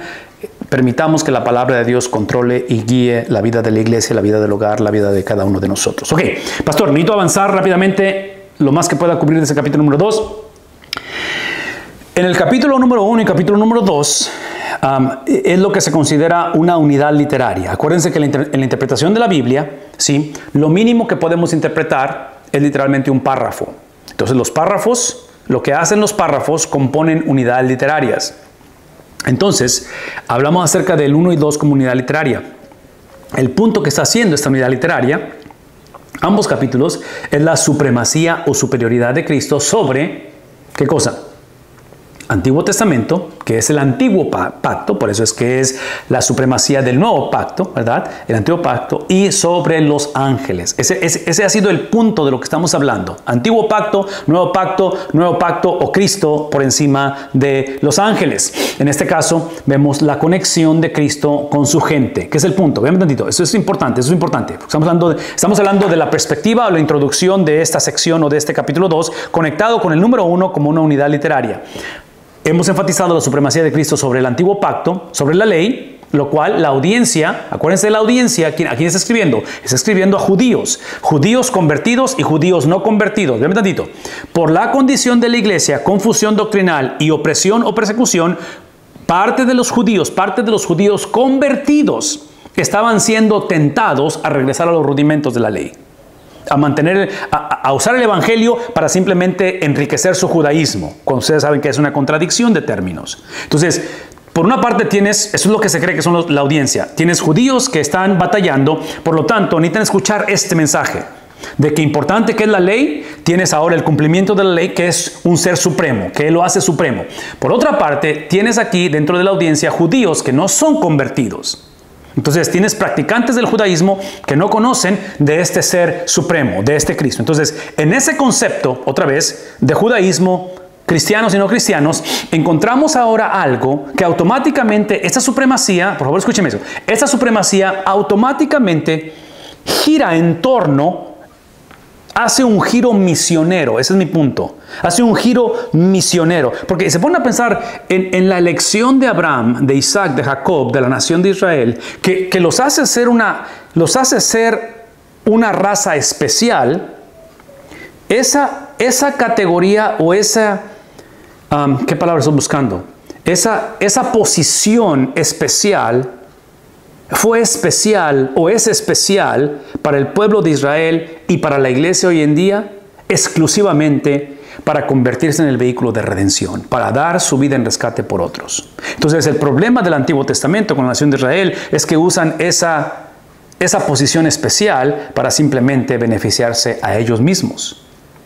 Entonces, en ese contexto que encontramos esa supremacía de Cristo para beneficio de otros. ¿Por qué? Porque vean lo que dice aquí basado del 10 al 18, estamos por leerlo, que es la última parte del capítulo, es donde encontramos que la supremacía de Cristo es precisamente para redención de los enemigos de Cristo.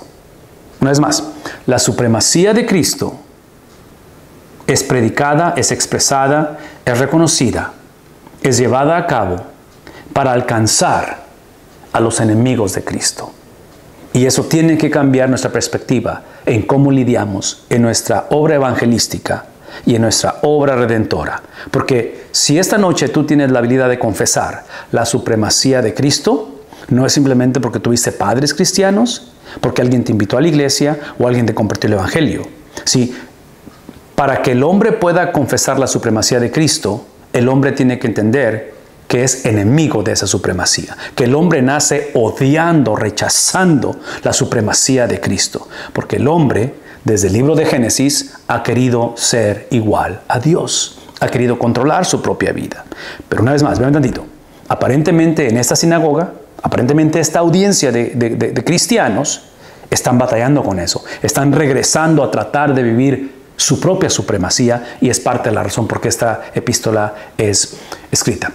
Parte de esto es que compartimos ahora su gloria. ¿Por qué? Esto lo vimos en, la, en, primera de Pedro, de que lo, que alcanzamos al final de la jornada lo que alcanzamos después de conectar con Él o de experimentar la supremacía de Cristo, lo que alcanzamos no es tanto supremacía en la tierra, no es que, es que alcanzamos a tener una relación con Él es que compartimos literalmente. Entonces, esa gloria que compartimos con Él o compartiremos, compartimos y compartiremos, el preámbulo es precisamente unirnos a Él en sus padecimientos. Es el preámbulo de ello, el requisito. El propósito, eh, el propósito de un pacto superior es lo que estamos hablando, es que una humanidad restaurada a su lugar de preeminencia en la creación. Por eso creemos que el cielo inicia en la tierra, por eso es que creemos que la vida eterna inicia en la tierra, por eso es que creemos que parte de la labor, del trabajo que hace este, esta obra redentora de Cristo, no es solamente la restauración de nuestra alma al de ser enemigos de Dios ahora a ser hijos de Dios, pero es literalmente, observen lo que dice ahí, es la restauración de nuestro lugar de preeminencia en la creación, porque es como inició la, así inició la conversación, ¿verdad? O sea, habló acerca, el libro de Génesis habla acerca de cómo debemos de tener señorío sobre la tierra, debemos de, de sojuzgar la tierra, en fin, todo eso se perdió, todo eso otra vez fue distorsionado por el pecado y Cristo lo ha restaurado. Una serie de advertencias, eso es importante, advertencias para aquellos que están siendo negligentes con o hacia el Evangelio. Era, lo que estaba pasando y es lo que está sucediendo hoy en día. Por lo tanto, Transición gramatical, versículo 1, capítulo 2. Por lo tanto, este por tanto, esa transición gramatical está implicando que todo lo que ha dicho el escritor en el capítulo 1, esto es lo que implica. ¿Qué implica? Debemos. Este, este, este, este es un mandato en el cual está advirtiendo. Y la advertencia es esto, de que tenemos cristianos judíos dentro de estas congregaciones, los cuales rehusan llevar a cabo el enfoque global de la elección de sus vidas, en este caso de su judaísmo. Una vez más, el judaísmo fue creado, fue instituido, fueron escogidos para escoger a las naciones del mundo y están rehusando hacer esto una vez más. Y para los no cristianos, la advertencia, por eso es que debemos, cristianos y no cristianos, es de que, adivinen qué, acepten la supremacía de Cristo.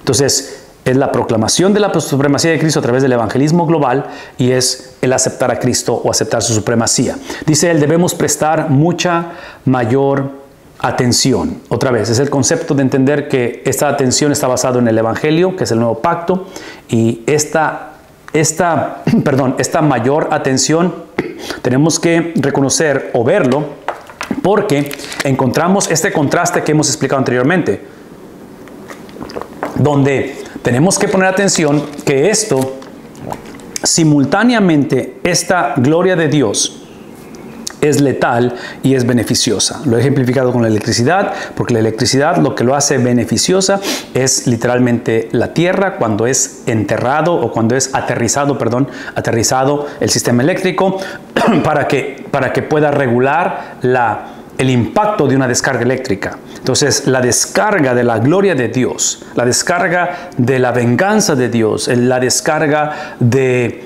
el juicio de Dios ya fue puesto en alguien, su nombre es Cristo.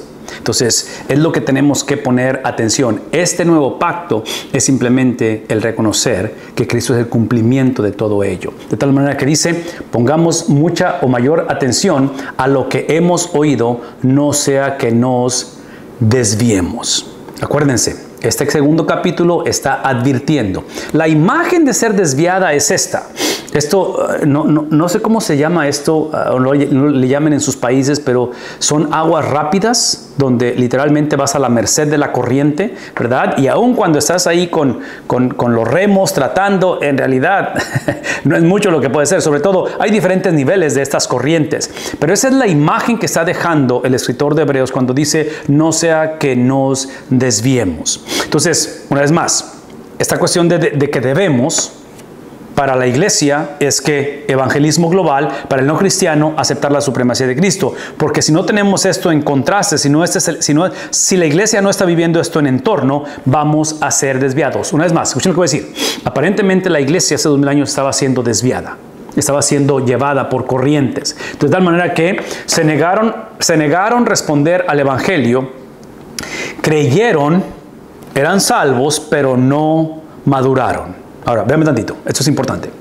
Aparentemente esto es lo que está, en otras palabras, aun cuando hemos mencionado judíos convertidos que están batallando y que están actuando como inmaduros, eso es parte de ello, y por otro lado los judíos no convertidos, da la impresión que el enfoque en sí está en la iglesia, en los judíos, convertidos, no maduros. ¿Por qué? Y aquí está el punto, y aquí es donde quiero que de alguna manera conectemos con nuestra condición hoy en día. Es gente que tuvo una profesión de fe, pero no tuvo una posesión de fe. Ahí no es la palabra confesión, es posesión de fe. Profesaron fe, pero no están poseyendo la fe. Entonces, esta es la clásica situación confusa en nuestros días, de que potencialmente la gente piensa que la meta del Evangelio es simplemente entregar mi vida a Cristo. Ese es el principio de la meta. La meta es literalmente desplegar el señorío, la supremacía de Cristo. Y eso lo hacemos a través de una, de una posesión de fe, donde ahora es el proceso de santificación, donde estamos poseyendo lo que ya hemos sido posicionados, lo que ya hemos profesado nos lleva a una posesión. ¿Está claro eso? Y la iglesia está batallando con eso hace dos mil años. Creo que es donde estamos hoy en día. ¿Por qué? Si la palabra hablada por medio de ángeles resultó ser inmutable, observen esto, si ese es el caso, si la palabra por ángeles, eh, eh, eh, a referencia rápidamente, el, judío, el judío creía que quien había dado la revelación de la ley a Moisés, esa es la palabra para ellos, la ley, fueron ángeles. Inclusive Moisés es etiquetado o caracterizado como profeta porque toda persona que escribe la palabra de Dios es un profeta para ellos. Entonces, cuando habla acerca de esta revelación que fue hablada por medio de ángeles, resultó ser inmutable, hablando de la ley, ángeles revelando a Moisés, ¿sí? Dios es fiel a lo que dijo, a su palabra, ese es el punto. De tal manera que, aquí es el punto, regresando a Moisés, e hice referencia a este versículo, a estos pasajes anteriormente, en Deuteronomio, Moisés va a decir bendiciones y maldiciones. Me van a obedecer, bendiciones, me van a desobedecer. Entonces, ¿qué es el punto? De que si a través de las edades la ley se cumple, dice aquí, resultó ser inmutable y toda transgresión y desobediencia recibió una justa retribución. Entonces, el punto aquí es simplemente que no se puede hacer Dios. Basado en Deuteronomio, Dios no se puede hacer de la vista gorda. Esa es parte de la advertencia. Esa es parte de que si la iglesia coquetea y se está dejando llevar por corrientes, porque es lo que está diciendo, ¿verdad? Eh, es la imagen de ser llevado por corrientes. Dios no se va a hacer de la vista gorda y va a haber consecuencias severas. De tal manera que aquí es donde hace la pregunta, ¿cómo escaparemos entonces? Si Dios no se puede hacer de la vista gorda, ¿cómo escaparemos? La advertencia es severa para los que descuidan la verdad de Dios. Hemos sido confiados esa verdad de Dios y la hemos descuidado. La pregunta es, ¿cómo escaparemos nosotros si descuidamos una salvación tan grande? Es el concepto de no poner atención. Es la advertencia que le da Pablo a Timoteo con respecto a su don espiritual en, 1 Timoteo 4:14. Es el Dios el cual no le pone atención a Israel. Esta es la imagen. Estamos leyendo esta cuestión de que descuidar una salvación tan grande es, es, es la imagen que los profetas nos presentan cuando Dios no le pone atención a Israel como consecuencia de violar su ley. Porque Él no se puede hacer de la vista gorda, ¿verdad? Él tiene que traer la retribución necesaria. Entonces aquí el punto está hablando de las consecuencias del pacto antiguo que son severas. En otras palabras, porque es lo que está diciendo, los ángeles revelaron esa palabra que es inmutable. Capítulo 27, capítulo 28 de Deuteronomio, Moisés les dice al pueblo de Israel, van a poseer la tierra.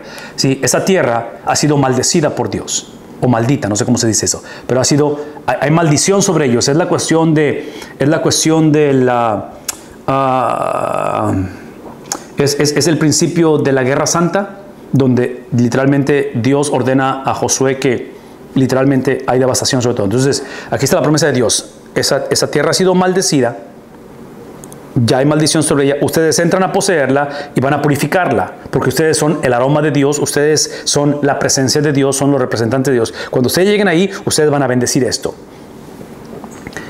Pero Moisés les va a decir a la misma vez, como, esa, como esos pueblos que han rehusado reconocer la supremacía de Dios van a ser o son maldecidos, de la misma manera ustedes serán maldecidos si ustedes desobedecen la palabra recibida por los ángeles que es inmutable. El año es el 722, ustedes lo saben, Asiria conquista el reino del norte, va a devastar su capital que es Samaria, y en el 586 Babilonia toma posesión de Jerusalén, el reino del sur, y va a ser devastado. ¿Qué es el punto? De que ambas experiencias de exilio, de conquista, son el producto de que Dios no se puede hacer de la vista gorda. Y vienen las consecuencias. Lo que está diciendo Hebreos, hablando una generación que sabe de estas historias y conoce la historia de todo ello, está diciendo esto. Si el antiguo pacto que hemos violado trae consecuencias serias, este nuevo pacto se dan cuenta que las consecuencias serán más severas. Entonces, el escritor de Hebreos está retando a la iglesia a decir, vean la historia, y fueron llevados a juicio por violar los principios y eso que fue el antiguo pacto. Ahorita que estamos en el nuevo pacto, la situación es más severa y las consecuencias son más serias. ¿Tiene, tiene, tiene sentido eso? Y esto, hermanos, una vez más, ¿recuerdan la palabra antinomianismo? Es pensar que la ley de Dios la puedes violar y que no hay consecuencias. O la clásica es que como soy salvo, no importa como quiera, Dios perdona mis pecados y como quiera voy al cielo. Eso es antinomianismo. Es pensar que que, la gracia de Dios se convierte en un atajo, en un sacame de apuros, no importa cómo vivamos. No, e, eso, eso no existe. Entonces, el punto aquí es que el pueblo de Dios no estaba rechazando la ley. ¿Qué es lo que estaba haciendo? Practicando el sincretismo, sino que estaban siendo negligentes con el Evangelio estaban negociando la pureza del Evangelio. Y aquí es donde recordamos que eh, el énfasis es recordar eh, o es enfatizar que la perseverancia de los santos está basada precisamente en el Dios que escoge preservar a su iglesia. ¿Cómo la preserva? Sí, la preserva a través de precisamente no ser negligentes, es de poner atención a, los estatutos de Dios. Es de entender que los mandatos de Dios no son para considerarse, no son para ponerlos en oración, no son para llevarlos a una sesión de negocios. ¿Son para qué? Son para obedecerlos. ¿Cómo los obedecemos? Los obedecemos a través del empoderamiento de su Espíritu Santo. Por eso es que tenemos que vivir vidas que agradan a Dios, donde su Espíritu tenga dominio de nuestra vida a través de su palabra. Hemos visto ejemplos como 2 Timoteo capítulo 2 versículo 13, no lo voy a leer por cuestión de tiempo, pero habla acerca del propósito de la salvación al final, habla acerca de que es, dice, él ha sido escogido desde el principio para salvación mediante la santificación.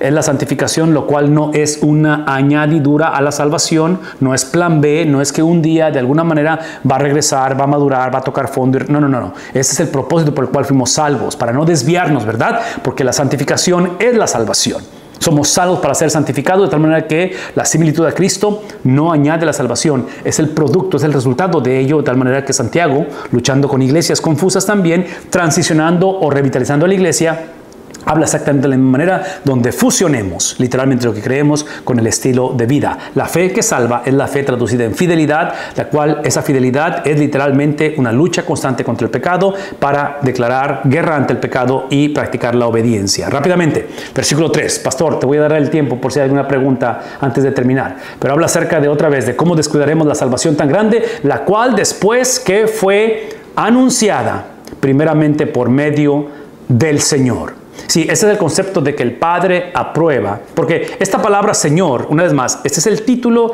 que Hebreo le está dando a Cristo. Esta palabra es Cristo, es el título de Cristo. Entonces, ese, ese título lo que está diciendo, al ponerlo al mismo nivel que el Padre, es porque el Padre aprueba la veracidad. ¿sí? Él fue el que anunció primeramente este mensaje y es aprobado por el Padre lo que el Hijo está compartiendo. Pastor, ¿tendrás algún comentario o pregunta antes de ir a los últimos versículos? Sí, el pastor Juan Caballero tiene una pregunta acerca de los judíos que se deslizaron y volvieron al judaísmo. Eh, ¿Fue porque fueron débiles en la fe y no creyeron en la verdad o simplemente no había una conversión genuina? Esa es la pregunta. La respuesta es sí. A todas las preguntas que, que, estás implicando, Pastor Caballero. Y, parte de ello, Pastor, es, esto. no, no, sé si esto va a ayudar, pero voy a tratar de explicarlo de esta manera. Y, voy, a tratar de, voy a tratar de reenfatizar la supremacía de Cristo a través de la supremacía de la palabra de Dios, que es la que revela la supremacía de Cristo. Importante que es la vida de los judíos y ese desliz o ese ser llevado por la corriente y algunos regresaron, algunos, en fin, todo eso. La carta a los hebreos y el resto del Nuevo Testamento y el resto de la palabra de Dios es precisamente para reconocer la condición, si es que estamos siendo deslizados, llevados, todo eso que estamos hablando, pero eso lo analizamos a través de la reintroducción de quién es Dios. Por eso es que hice el énfasis un momento de, del libro de Romanos capítulo 11 al final de esa doxología, porque lo que hace la reintroducción de la supremacía de Cristo, del carácter de Dios, es lo que me permite reconocer mi situación. Entonces, menciono esto porque aquí está mi punto, ese es el punto que quiero, quiero enfatizar y quiero dejar bien claro. Hay cosas en la vida de la iglesia, del cristiano, de tu vida y mi vida que son obvias, que no están funcionando, y, y hay pecado del cual no podemos hacernos los que no sabíamos. Eh, eso es obvio. Como generación hay cosas que estamos haciendo, y ustedes lo saben esto, pero en Estados Unidos, no sé si a nivel mundial esto, y debería de saberlo, pero en Estados Unidos es el mes del, del orgullo, le llaman, del orgullo, de lo que es este movimiento que, estamos viviendo con respecto a la revolución moral, no solamente sexual, pero moral que estamos viviendo. Entonces, hay cosas que son obvias en nuestra generación. Vean tantito, ese, ese es mi punto. Lo que no podemos seguir haciendo es usar la iglesia o la predicación de la palabra de Dios para hablar, para usarla como un diagnóstico de nuestra situación. La palabra de Dios tiene que enfocarse o enfatizar el carácter de Dios no la condición del hombre. Tiene que ser el carácter de Dios a través de su palabra que descubre la condición del hombre. Entonces, si se ponen a pensar, yo voy a argumentar, la carta no dice esto, pero yo voy a argumentar que estas cartas, como Hebreos y el resto del Nuevo Testamento, yo no creo que la iglesia o estos grupos de cristianos estaban pidiendo estas cartas.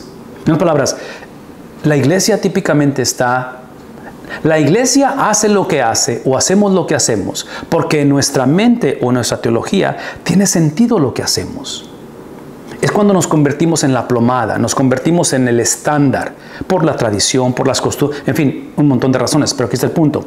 Entonces, cuando hablamos acerca de la condición de desliz o de o, tal vez de, de, apatía o tal vez apostasía inclusive, yo argumentaría que parte del problema es que idolatramos, exaltamos y eventualmente satanizamos la experiencia de la persona. Y tenemos que ser sensibles a lo que está sucediendo. Tenemos que ser sensibles a lo que pasó a estas congregaciones o a estos judíos en este tiempo.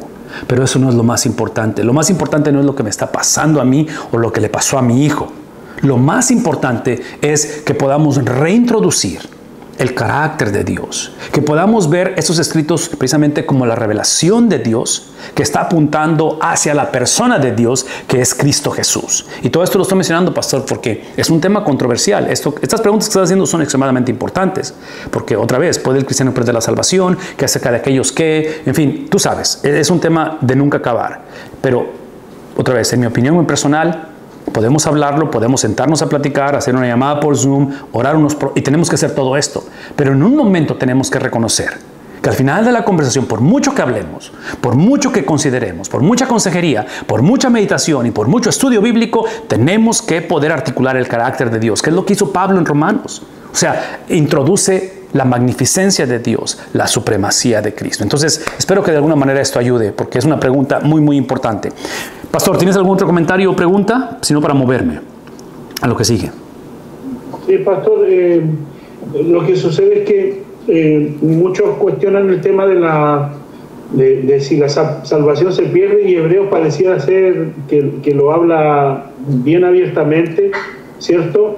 Sí. Pero cuando habla acerca de, volver al judaísmo eh, como, una, como una contrariedad al Evangelio, eh, o a la doctrina del Señor, del Evangelio mismo, eh, nosotros a veces somos, somos como demasiado juiciosos en, en, nuestra perspectiva occidental, porque ellos aparentemente nunca salieron de su fe judía, solo que entendieron el Antiguo Testamento ¿cierto?, en el cumplimiento de las promesas. Entonces nosotros eh, decimos negro o blanco, eh, pero nunca pensamos que ellos en su esencia siguen siendo judíos y en su conformación religiosa también.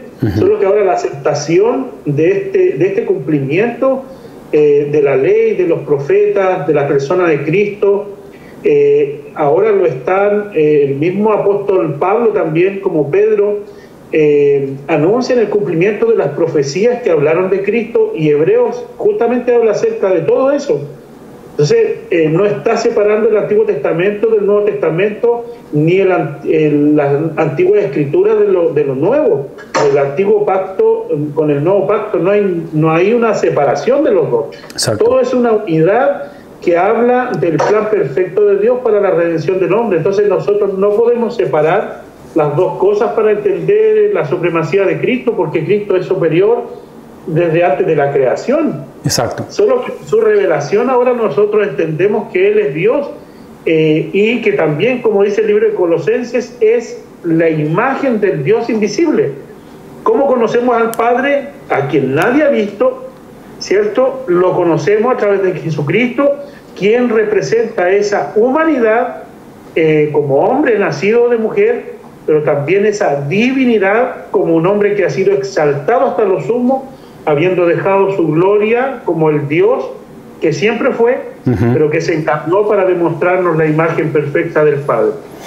Y, esto que estás mencionando es extremadamente importante, pastor, porque me hace recordar, y, considero que esto es parte del meollo del asunto, como decimos en México, es el, es el epicentro de lo que estamos hablando, que creo que es parte, conectando con la pregunta ahorita del hermano Caballero, eh, en cuestión de cómo explicas este tipo de, de, fe que mengua y que deserta y todo eso, hasta cierta manera es recordar que ese, ese pacto antiguo y nuevo, o sea, en sí la palabra de Dios, los pactos o el pacto, es precisamente la razón por la cual declaramos la supremacía de Cristo. Entonces la supremacía de Cristo tiene implicaciones y parte de la implicación es precisamente que si Él es supremo, eso implica que nosotros somos sus servidores y parte del servicio que damos es la obediencia.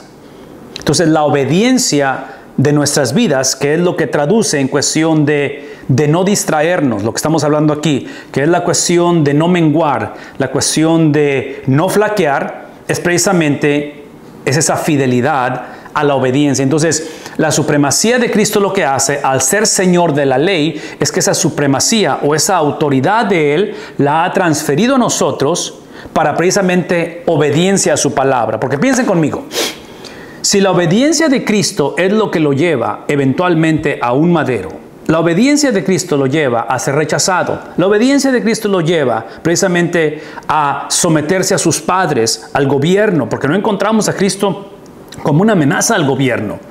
Entonces, es exactamente es a lo que somos llamados a hacer.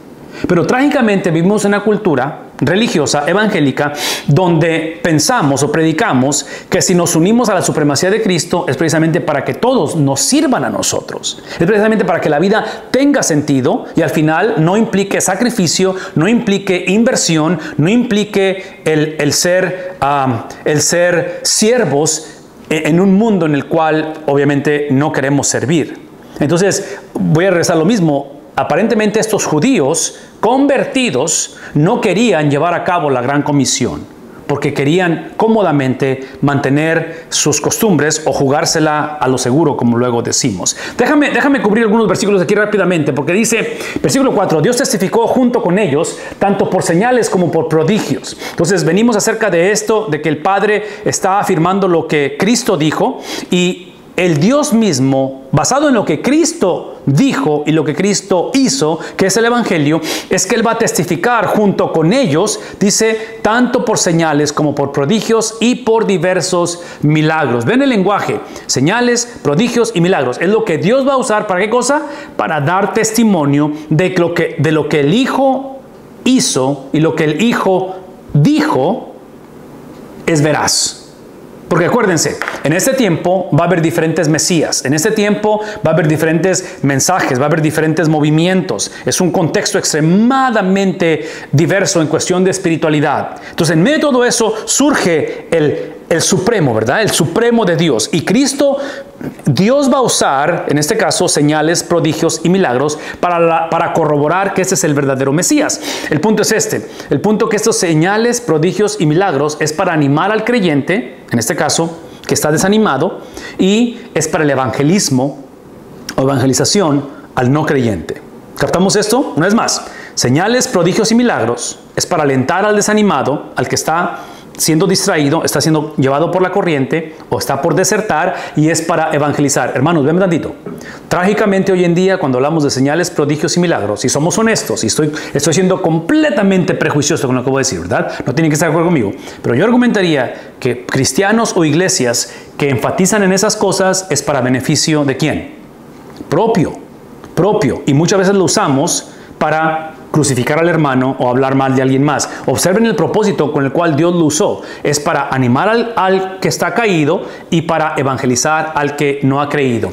Esta cuestión de, señales, prodigios y milagros se van a intensificar, ¿sí? hablando de maldad, hablando de prodigios, en tanto la primera venida como en la segunda venida de Cristo. Y eso es importante recordar, porque estamos en medio de las dos venidas de Cristo, ¿verdad? De tal manera que estos señales, prodigios y milagros que Él testificó y por dones repartidos del Espíritu Santo según su propia voluntad. Entonces, esto, esto es lo que Dios usó, dice el libro de Beos, para animar y para evangelizar usó señales, prodigios, milagros y dio a la iglesia, al cristiano, dones repartidos por quién? Por el Espíritu, según la voluntad de quién? Del Espíritu, que es el punto, de que en la conversión del ser humano, literalmente todos recibimos por lo menos un don espiritual.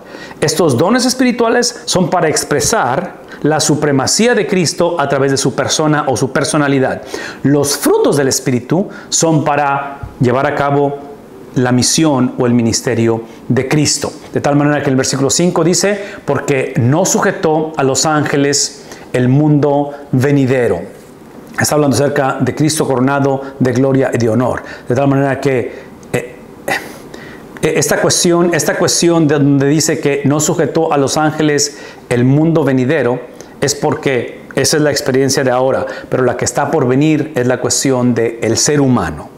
Entonces, vean el contraste de esto, de lo que estamos hablando, porque otra vez los ángeles van a, en palabras, el hombre o el cristiano va a juzgar a los ángeles en el mundo que está por venir. Dice, pero uno ha testificado en un lugar de las escrituras diciendo, y aquí lo que está haciendo el libro de Hebreos está simplemente hablando de la inspiración de la Biblia, o sea, está hablando acerca del testimonio de la Biblia en general con respecto a esto. Y eso es lo que dice, ¿Qué es el hombre para que tú te acuerdes de él? ¿O el hijo del hombre para que le intereses, te intereses en él? Ese es, ese es, un modismo hebreo que está enfatizando la humanidad cuando habla acerca de el hombre o el hijo del hombre. Está hablando de la humanidad. Entonces, léanlo conmigo. ¿Qué es la humanidad para que tú te acuerdes de la humanidad? O o la humanidad para que te intereses en la humanidad. Es lo que está diciendo. De tal manera que dice, lo has hecho un poco inferior a los ángeles. Está, está hablando acerca de Cristo sus seguidores, de tal manera que la superioridad de los ángeles está hablando acerca, una vez más, recuerdan que les, les dije hace un momento que en la cuestión de estar en este mundo donde coexistimos con seres espirituales que son superiores a nosotros. Entonces, cuando habla acerca de que ha sido hecho poco inferior de los ángeles, está hablando precisamente de la encarnación de Cristo, que Él se posiciona, ¿verdad? Como ser humano, otra vez, ser humano, ser divino lo que está haciendo Hebreos está describiendo, no separando, pero describiendo las cualidades de la humanidad de Cristo, que humanamente hablando, Cristo se posiciona inferior a los ángeles, cuando Él se encarna y habita entre nosotros. En cuestión divina, es obvio que Él es el creador de los ángeles, ¿verdad? Pero en este caso solamente podemos hablar de distintivos, no podemos separarlos porque si no sería una herejía. Todo lo has sujetado bajo sus pies, hablando de Cristo, ¿verdad? el que se posicionó inferior, ese es, Filipenses capítulo 2, humillación y exaltación. Todas posicionadas bajo sus pies, porque al sujetarlo todo a Él, vean esto, no dejó nada que no le sea sujeto, pero ahora no vemos aún todas las cosas sujetas a Él. El punto es este, esto es lo que quiero que piensen conmigo, porque observen lo que está diciendo, el lenguaje que está usando para hablar de la supremacía de Cristo y hablar de la importancia, escuchen lo que voy a decir, el contexto es advertencias para los que están menguando, dejándose llevar por la corriente o potencialmente han desertado. Por otra parte, vean esto, porque eh, eh, se cree que es una sinagoga donde están coexistiendo judíos convertidos y judíos no convertidos. A tantito. Si ese es el caso, que yo creo que es el caso donde tú vives y donde yo vivo, donde laboramos, donde servimos, judíos convertidos, judíos no convertidos. Si el judío convertido está menguando, está coqueteando, está en un momento dado débil en su fe, ¿qué esperanza tiene el no convertido cuando está viendo un cristianismo el cual no está declarando la esencia del Evangelio. Entonces, en ese contexto es que está diciendo, todo lo ha sujetado bajo sus pies, porque al sujetarlo todo a Él, a Cristo, y somos coherederos con Cristo, no dejó nada que no le sea sujeto. Él es Señor por encima de todas las cosas. Entonces, está pidiendo que la iglesia que está menguando actúe como tal como que Cristo es el Señor, que realmente nuestra convicción sea reflejada en nuestro estilo de vida. Tal manera dice, pero ahora no vemos aún todas las cosas sujetas a Él y batallamos con esto. Entonces, la invitación o lo que está tratando de recordarnos Hebreos es precisamente el que actuemos como dueños de nada y administradores de todo. Que esta experiencia esta confesión de la, de la autoridad suprema de Cristo es precisamente para declarar que nosotros no somos los dueños, que somos administradores simplemente de ello. Pero vemos a aquel, esta cuestión de aquel, y obviamente lo pone con A mayúscula, está comparando otra vez la humanidad con Cristo. ¿sí? El Cristo como el destino alcanzado. En palabras, Él es la razón de esto, tal manera que dice que fue hecho un poco inferior a los ángeles. Y una vez más, la inferioridad de Cristo, en este caso, es en el aspecto humano. Y en el aspecto humano es cuando Él se encarna y en su vida terrenal. Pero voy a decir una vez más, esto no implica que es alterada su divinidad, es simplemente que estamos hablando de distintivos dentro de la coexistencia, porque ustedes saben que Cristo es una persona con dos naturalezas y dentro de Él coexisten esas dos naturalezas. Y es lo que estamos hablando aquí. Estamos hablando de una de las naturalezas. Tal manera que dice él, inferior a los ángeles, es decir, a Jesús coronado de gloria y honor a causa del padecimiento de la muerte, para que por la gracia de Dios probara la muerte de todos. Hermanos, este versículo lo podemos predicar el resto de la noche. ¿Se dan cuenta de todo lo que está diciendo el escritor de Hebreos? Y una vez más, todo esto lo está explicando como una advertencia para que la iglesia mantenga, mantenga el curso por el cual fue trazado para la iglesia. Una vez más, escuchen lo que está diciendo. Pero vemos a aquel, lo vemos, tenemos acceso, que fue hecho un poco inferior que los ángeles. Y aquí está el contraste. Inferior, pero en, la misma, en, el mismo versículo ha sido qué cosa? Coronado. Inferior, coronado.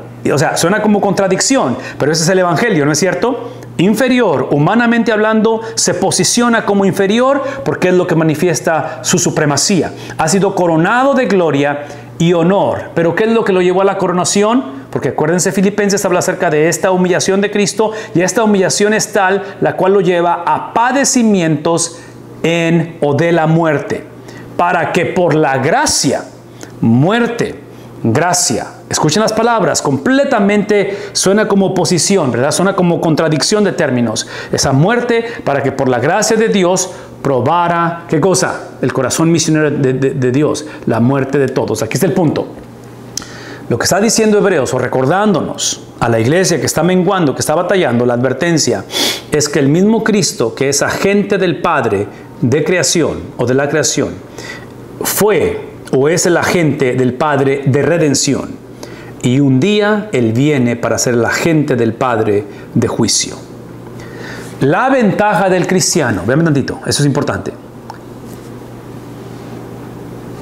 La razón por la cual mantenemos nuestra confianza en la dependencia de Él y ponemos nuestra fe en su certeza es porque sabemos históricamente que esto es verdad. La creación fue literalmente llevada a cabo por simplemente cuando Él habló. Esto Estoy hablando de Cristo, ¿verdad? Él es el, él es el agente de la creación, comisionado por el Padre. Y estoy hablando del misterio, ¿verdad? Del misterio de la Trinidad, donde estoy hablando de los distintivos del un solo Dios como Padre comisionando a la segunda persona como agente de la creación. Esto tenemos la evidencia porque ya vino por primera vez en cuestión de que Él es el agente de redención. Lo acabamos de leer. Esto que está aquí en el versículo 9 es simplemente Cristo llevando a cabo el propósito, la misión, la unción, la tarea que le fue asignada. Cuando hablamos acerca de ser agente del juicio, es la advertencia que está poniendo sobre la iglesia animándola para que recuerden quién es Cristo, su supremacía, pero al inconverso advirtiéndole que si no entregan su vida a la gente de redención, porque es el Señor de todas las cosas, el día viene pronto. Y acuérdense, ellos están predicando con la mentalidad de que Cristo viene en su generación. Entonces Cristo viene pronto, no para crear cosas, no para salvar a nadie. ¿Viene para qué cosa? Aquí es el punto de que la iglesia en tiempos de dificultad, en tiempos de flaqueza, en tiempos que menguamos, en tiempos que tropezamos, recordemos esto. Esta es la promesa de que cuando el juicio viene, es el juez que viene a juzgar, es también nuestro abogado, es también nuestro representante legal ante el trono de Dios. Y es por eso que esta noche podemos descansar en el Señor, de que aun cuando hemos flaqueado, aun cuando hemos menguado, aun cuando lejos estamos de caminar bajo la supremacía de Cristo, delante del Padre de misericordia, hemos sido comprados a través de la gente de retención. Hemos, hemos experimentado literalmente la coronación de la gloria de Cristo a través de sus padecimientos, de tal manera que sus padecimientos han producido la gracia donde Él ha muerto por toda persona que confiesa, Él murió por toda persona que declara que Jesucristo es el Señor. Y esa es la garantía con la cual descansamos en una noche como esta. Pastor, aquí me voy a detener.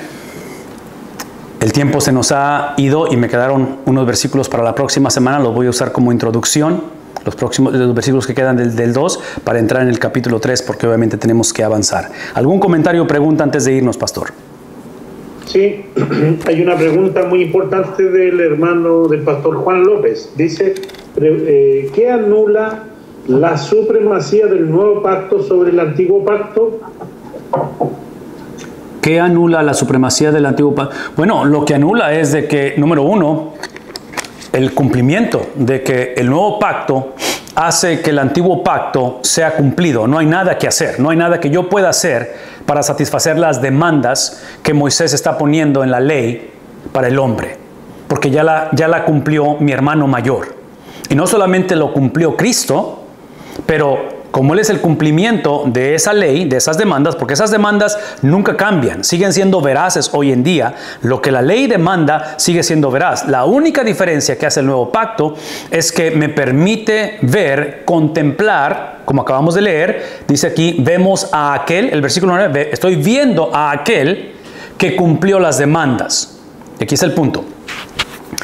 Y, esa, pregunta me lleva a hablar del Evangelio, que así es que me van a dar unos minutos para predicar el Evangelio rápidamente. Y si están tomando nota, estoy por, por articular el Evangelio. Estoy viendo al que obedeció en perfección, no pecado en él. Obedeció la ley en toda su plenitud. No solamente la obedeció, pero esta es la ventaja del nuevo pacto, la obedeció.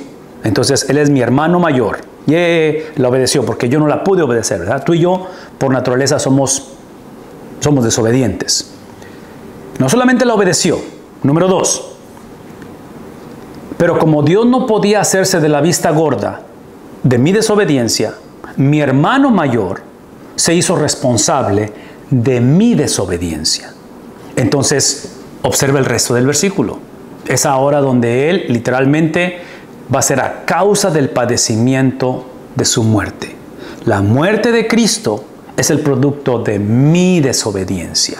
Él asume esa responsabilidad, Él asume las consecuencias de mi desobediencia. Entonces, una es que obedece, la otra es que asume las consecuencias de mi desobediencia, pero la tercera cosa que es el Evangelio, parte del Evangelio, es que cuando Él muere y es depositado en un sepulcro, ese primer día de la semana, al salir victorioso por su supremacía, porque su obediencia cumplió las demandas del Padre y el Padre aprobó.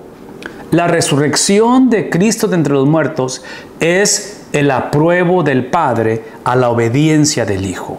Y no solamente aprobó su obediencia, aprobó su vida, su teología, su, su, manera de llevar a cabo el ministerio, el cumplimiento de la ley, pero aquí está lo hermoso del Evangelio. Es que en su resurrección Él ahora transfirió y acreditó su obediencia a nosotros.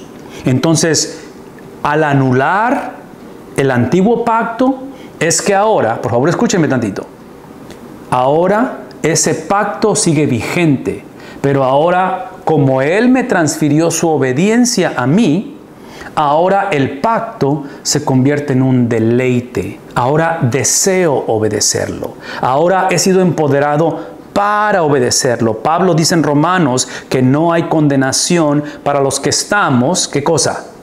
Posicionados en la obediencia de Cristo. Estamos posicionados en que Él tomó y absorbió las consecuencias de mi desobediencia. Estoy posicionado en que ahora Él ha resucitado y su resurrección me transfirió su justicia y por eso no hay condenación. Entonces, como soy libre del pecado, vean esto, soy libre de la condenación del pecado, esa libertad es la que tengo porque ahora el pacto deseo obedecerlo. Entonces, la anulación del pacto es en, el aspecto donde es es anulado para yo obedecerlo, pero es activado a través de todo lo que voy a explicar porque ahora deseo obedecerlo. Ahora es un deleite donde medito en su palabra y encuentro el carácter de Dios, el cual al principio, antes de Cristo, antes de que fuera mi, hermano mayor, el carácter de Dios lo rechazaba, lo odiaba, e, era, era enemigo de Dios, no detestaba este mensaje. Ahora encuentro ese deleite en ello. Entonces es anulado, pero es activado a la vez. Antes era un problema, ahora es un deleite. Y por eso es que deseo obedecerle. Vivo para obedecerle. Anhelo obedecerle. Porque me revela, me muestra su carácter, su soberanía, su supremacía. Y pone, me pone mi vida y mis experiencias en el contexto correcto, en la perspectiva correcta, a través de la palabra de Dios. Pastor, espero que eso tenga sentido. Pero eso sería mi respuesta en la, en la ventaja de este nuevo pacto. ¿Otro comentario o pregunta? Eh, no, ya solo hay saludos eh, y bueno, lo importante es que también eh, que yo quisiera puntualizar, Pastor, porque a lo mejor podría también haber una confusión sí. en, el sentido de que el Antiguo Testamento no ha sido abolido como tal, el, el digámoslo, las palabras, porque las palabras son de Dios. Claro. Y la escritura como tal, como Antiguo Testamento, eh, siguen siendo palabra de Dios. Lo mismo la ley, la ley no es de Moisés, la ley de Dios. Entonces, Cristo la cumplió, por supuesto, y por eso que este pacto está basado bajo mejores promesas, lo dice el libro de Hebreo. Eh, pero la ley y la palabra de Dios no va a terminar jamás. la propia Escritura dice que, que cierto, la, el cielo y la tierra pasarán, pero mis palabras no pasarán. Eso significa que sigue vigente la palabra de Dios como Antiguo Testamento y como Nuevo Testamento como un todo para referirnos a las escrituras. Porque recuerde que en el Nuevo Testamento, y es por esa misma razón, eh, se han hecho necesarias las cartas, los evangelios, el mismo libro de Hebreo y Apocalipsis, todo, todo el Nuevo Testamento, hasta antes que se escribieran las escrituras que existían, era el Antiguo Testamento. Y cada vez que se hacía referencia era la palabra de Dios. Entonces, eso es muy importante puntualizarlo, pastor, porque tal vez a alguien le restaría importancia a la escritura por ser el Nuevo Testamento, eh, refiriéndose al antiguo pacto, y el antiguo pacto está claramente establecido en cómo nos acercamos a Dios. Claro. ¿Cierto? Y, no, solamente, y no solamente eso, pastor, pero el antiguo pacto lo que hace es el diagnóstico de que no podemos obedecer. Por eso es que entra obviamente el cumplimiento de ello que es Cristo. Entonces por eso estoy enfatizando y tienes toda la razón.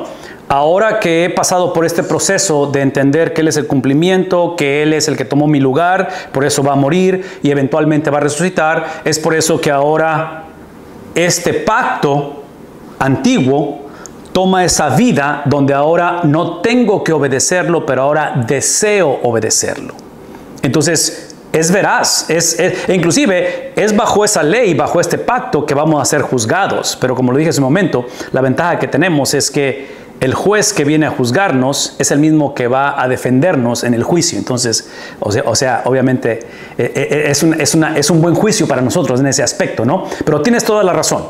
El, hecho de, de, la supremacía del nuevo pacto no es que nulifique el pacto antiguo en el sentido de que es obsoleto, pero es la cuestión de que ahora, sin el nuevo pacto, el hombre tenía que obedecerlo en perfección para ser salvo. Entonces, si te pones a pensar, la referencia que hice de Abraham al principio, cuando, cuando Dios le revela y le, le, anuncia la venida de Isaac.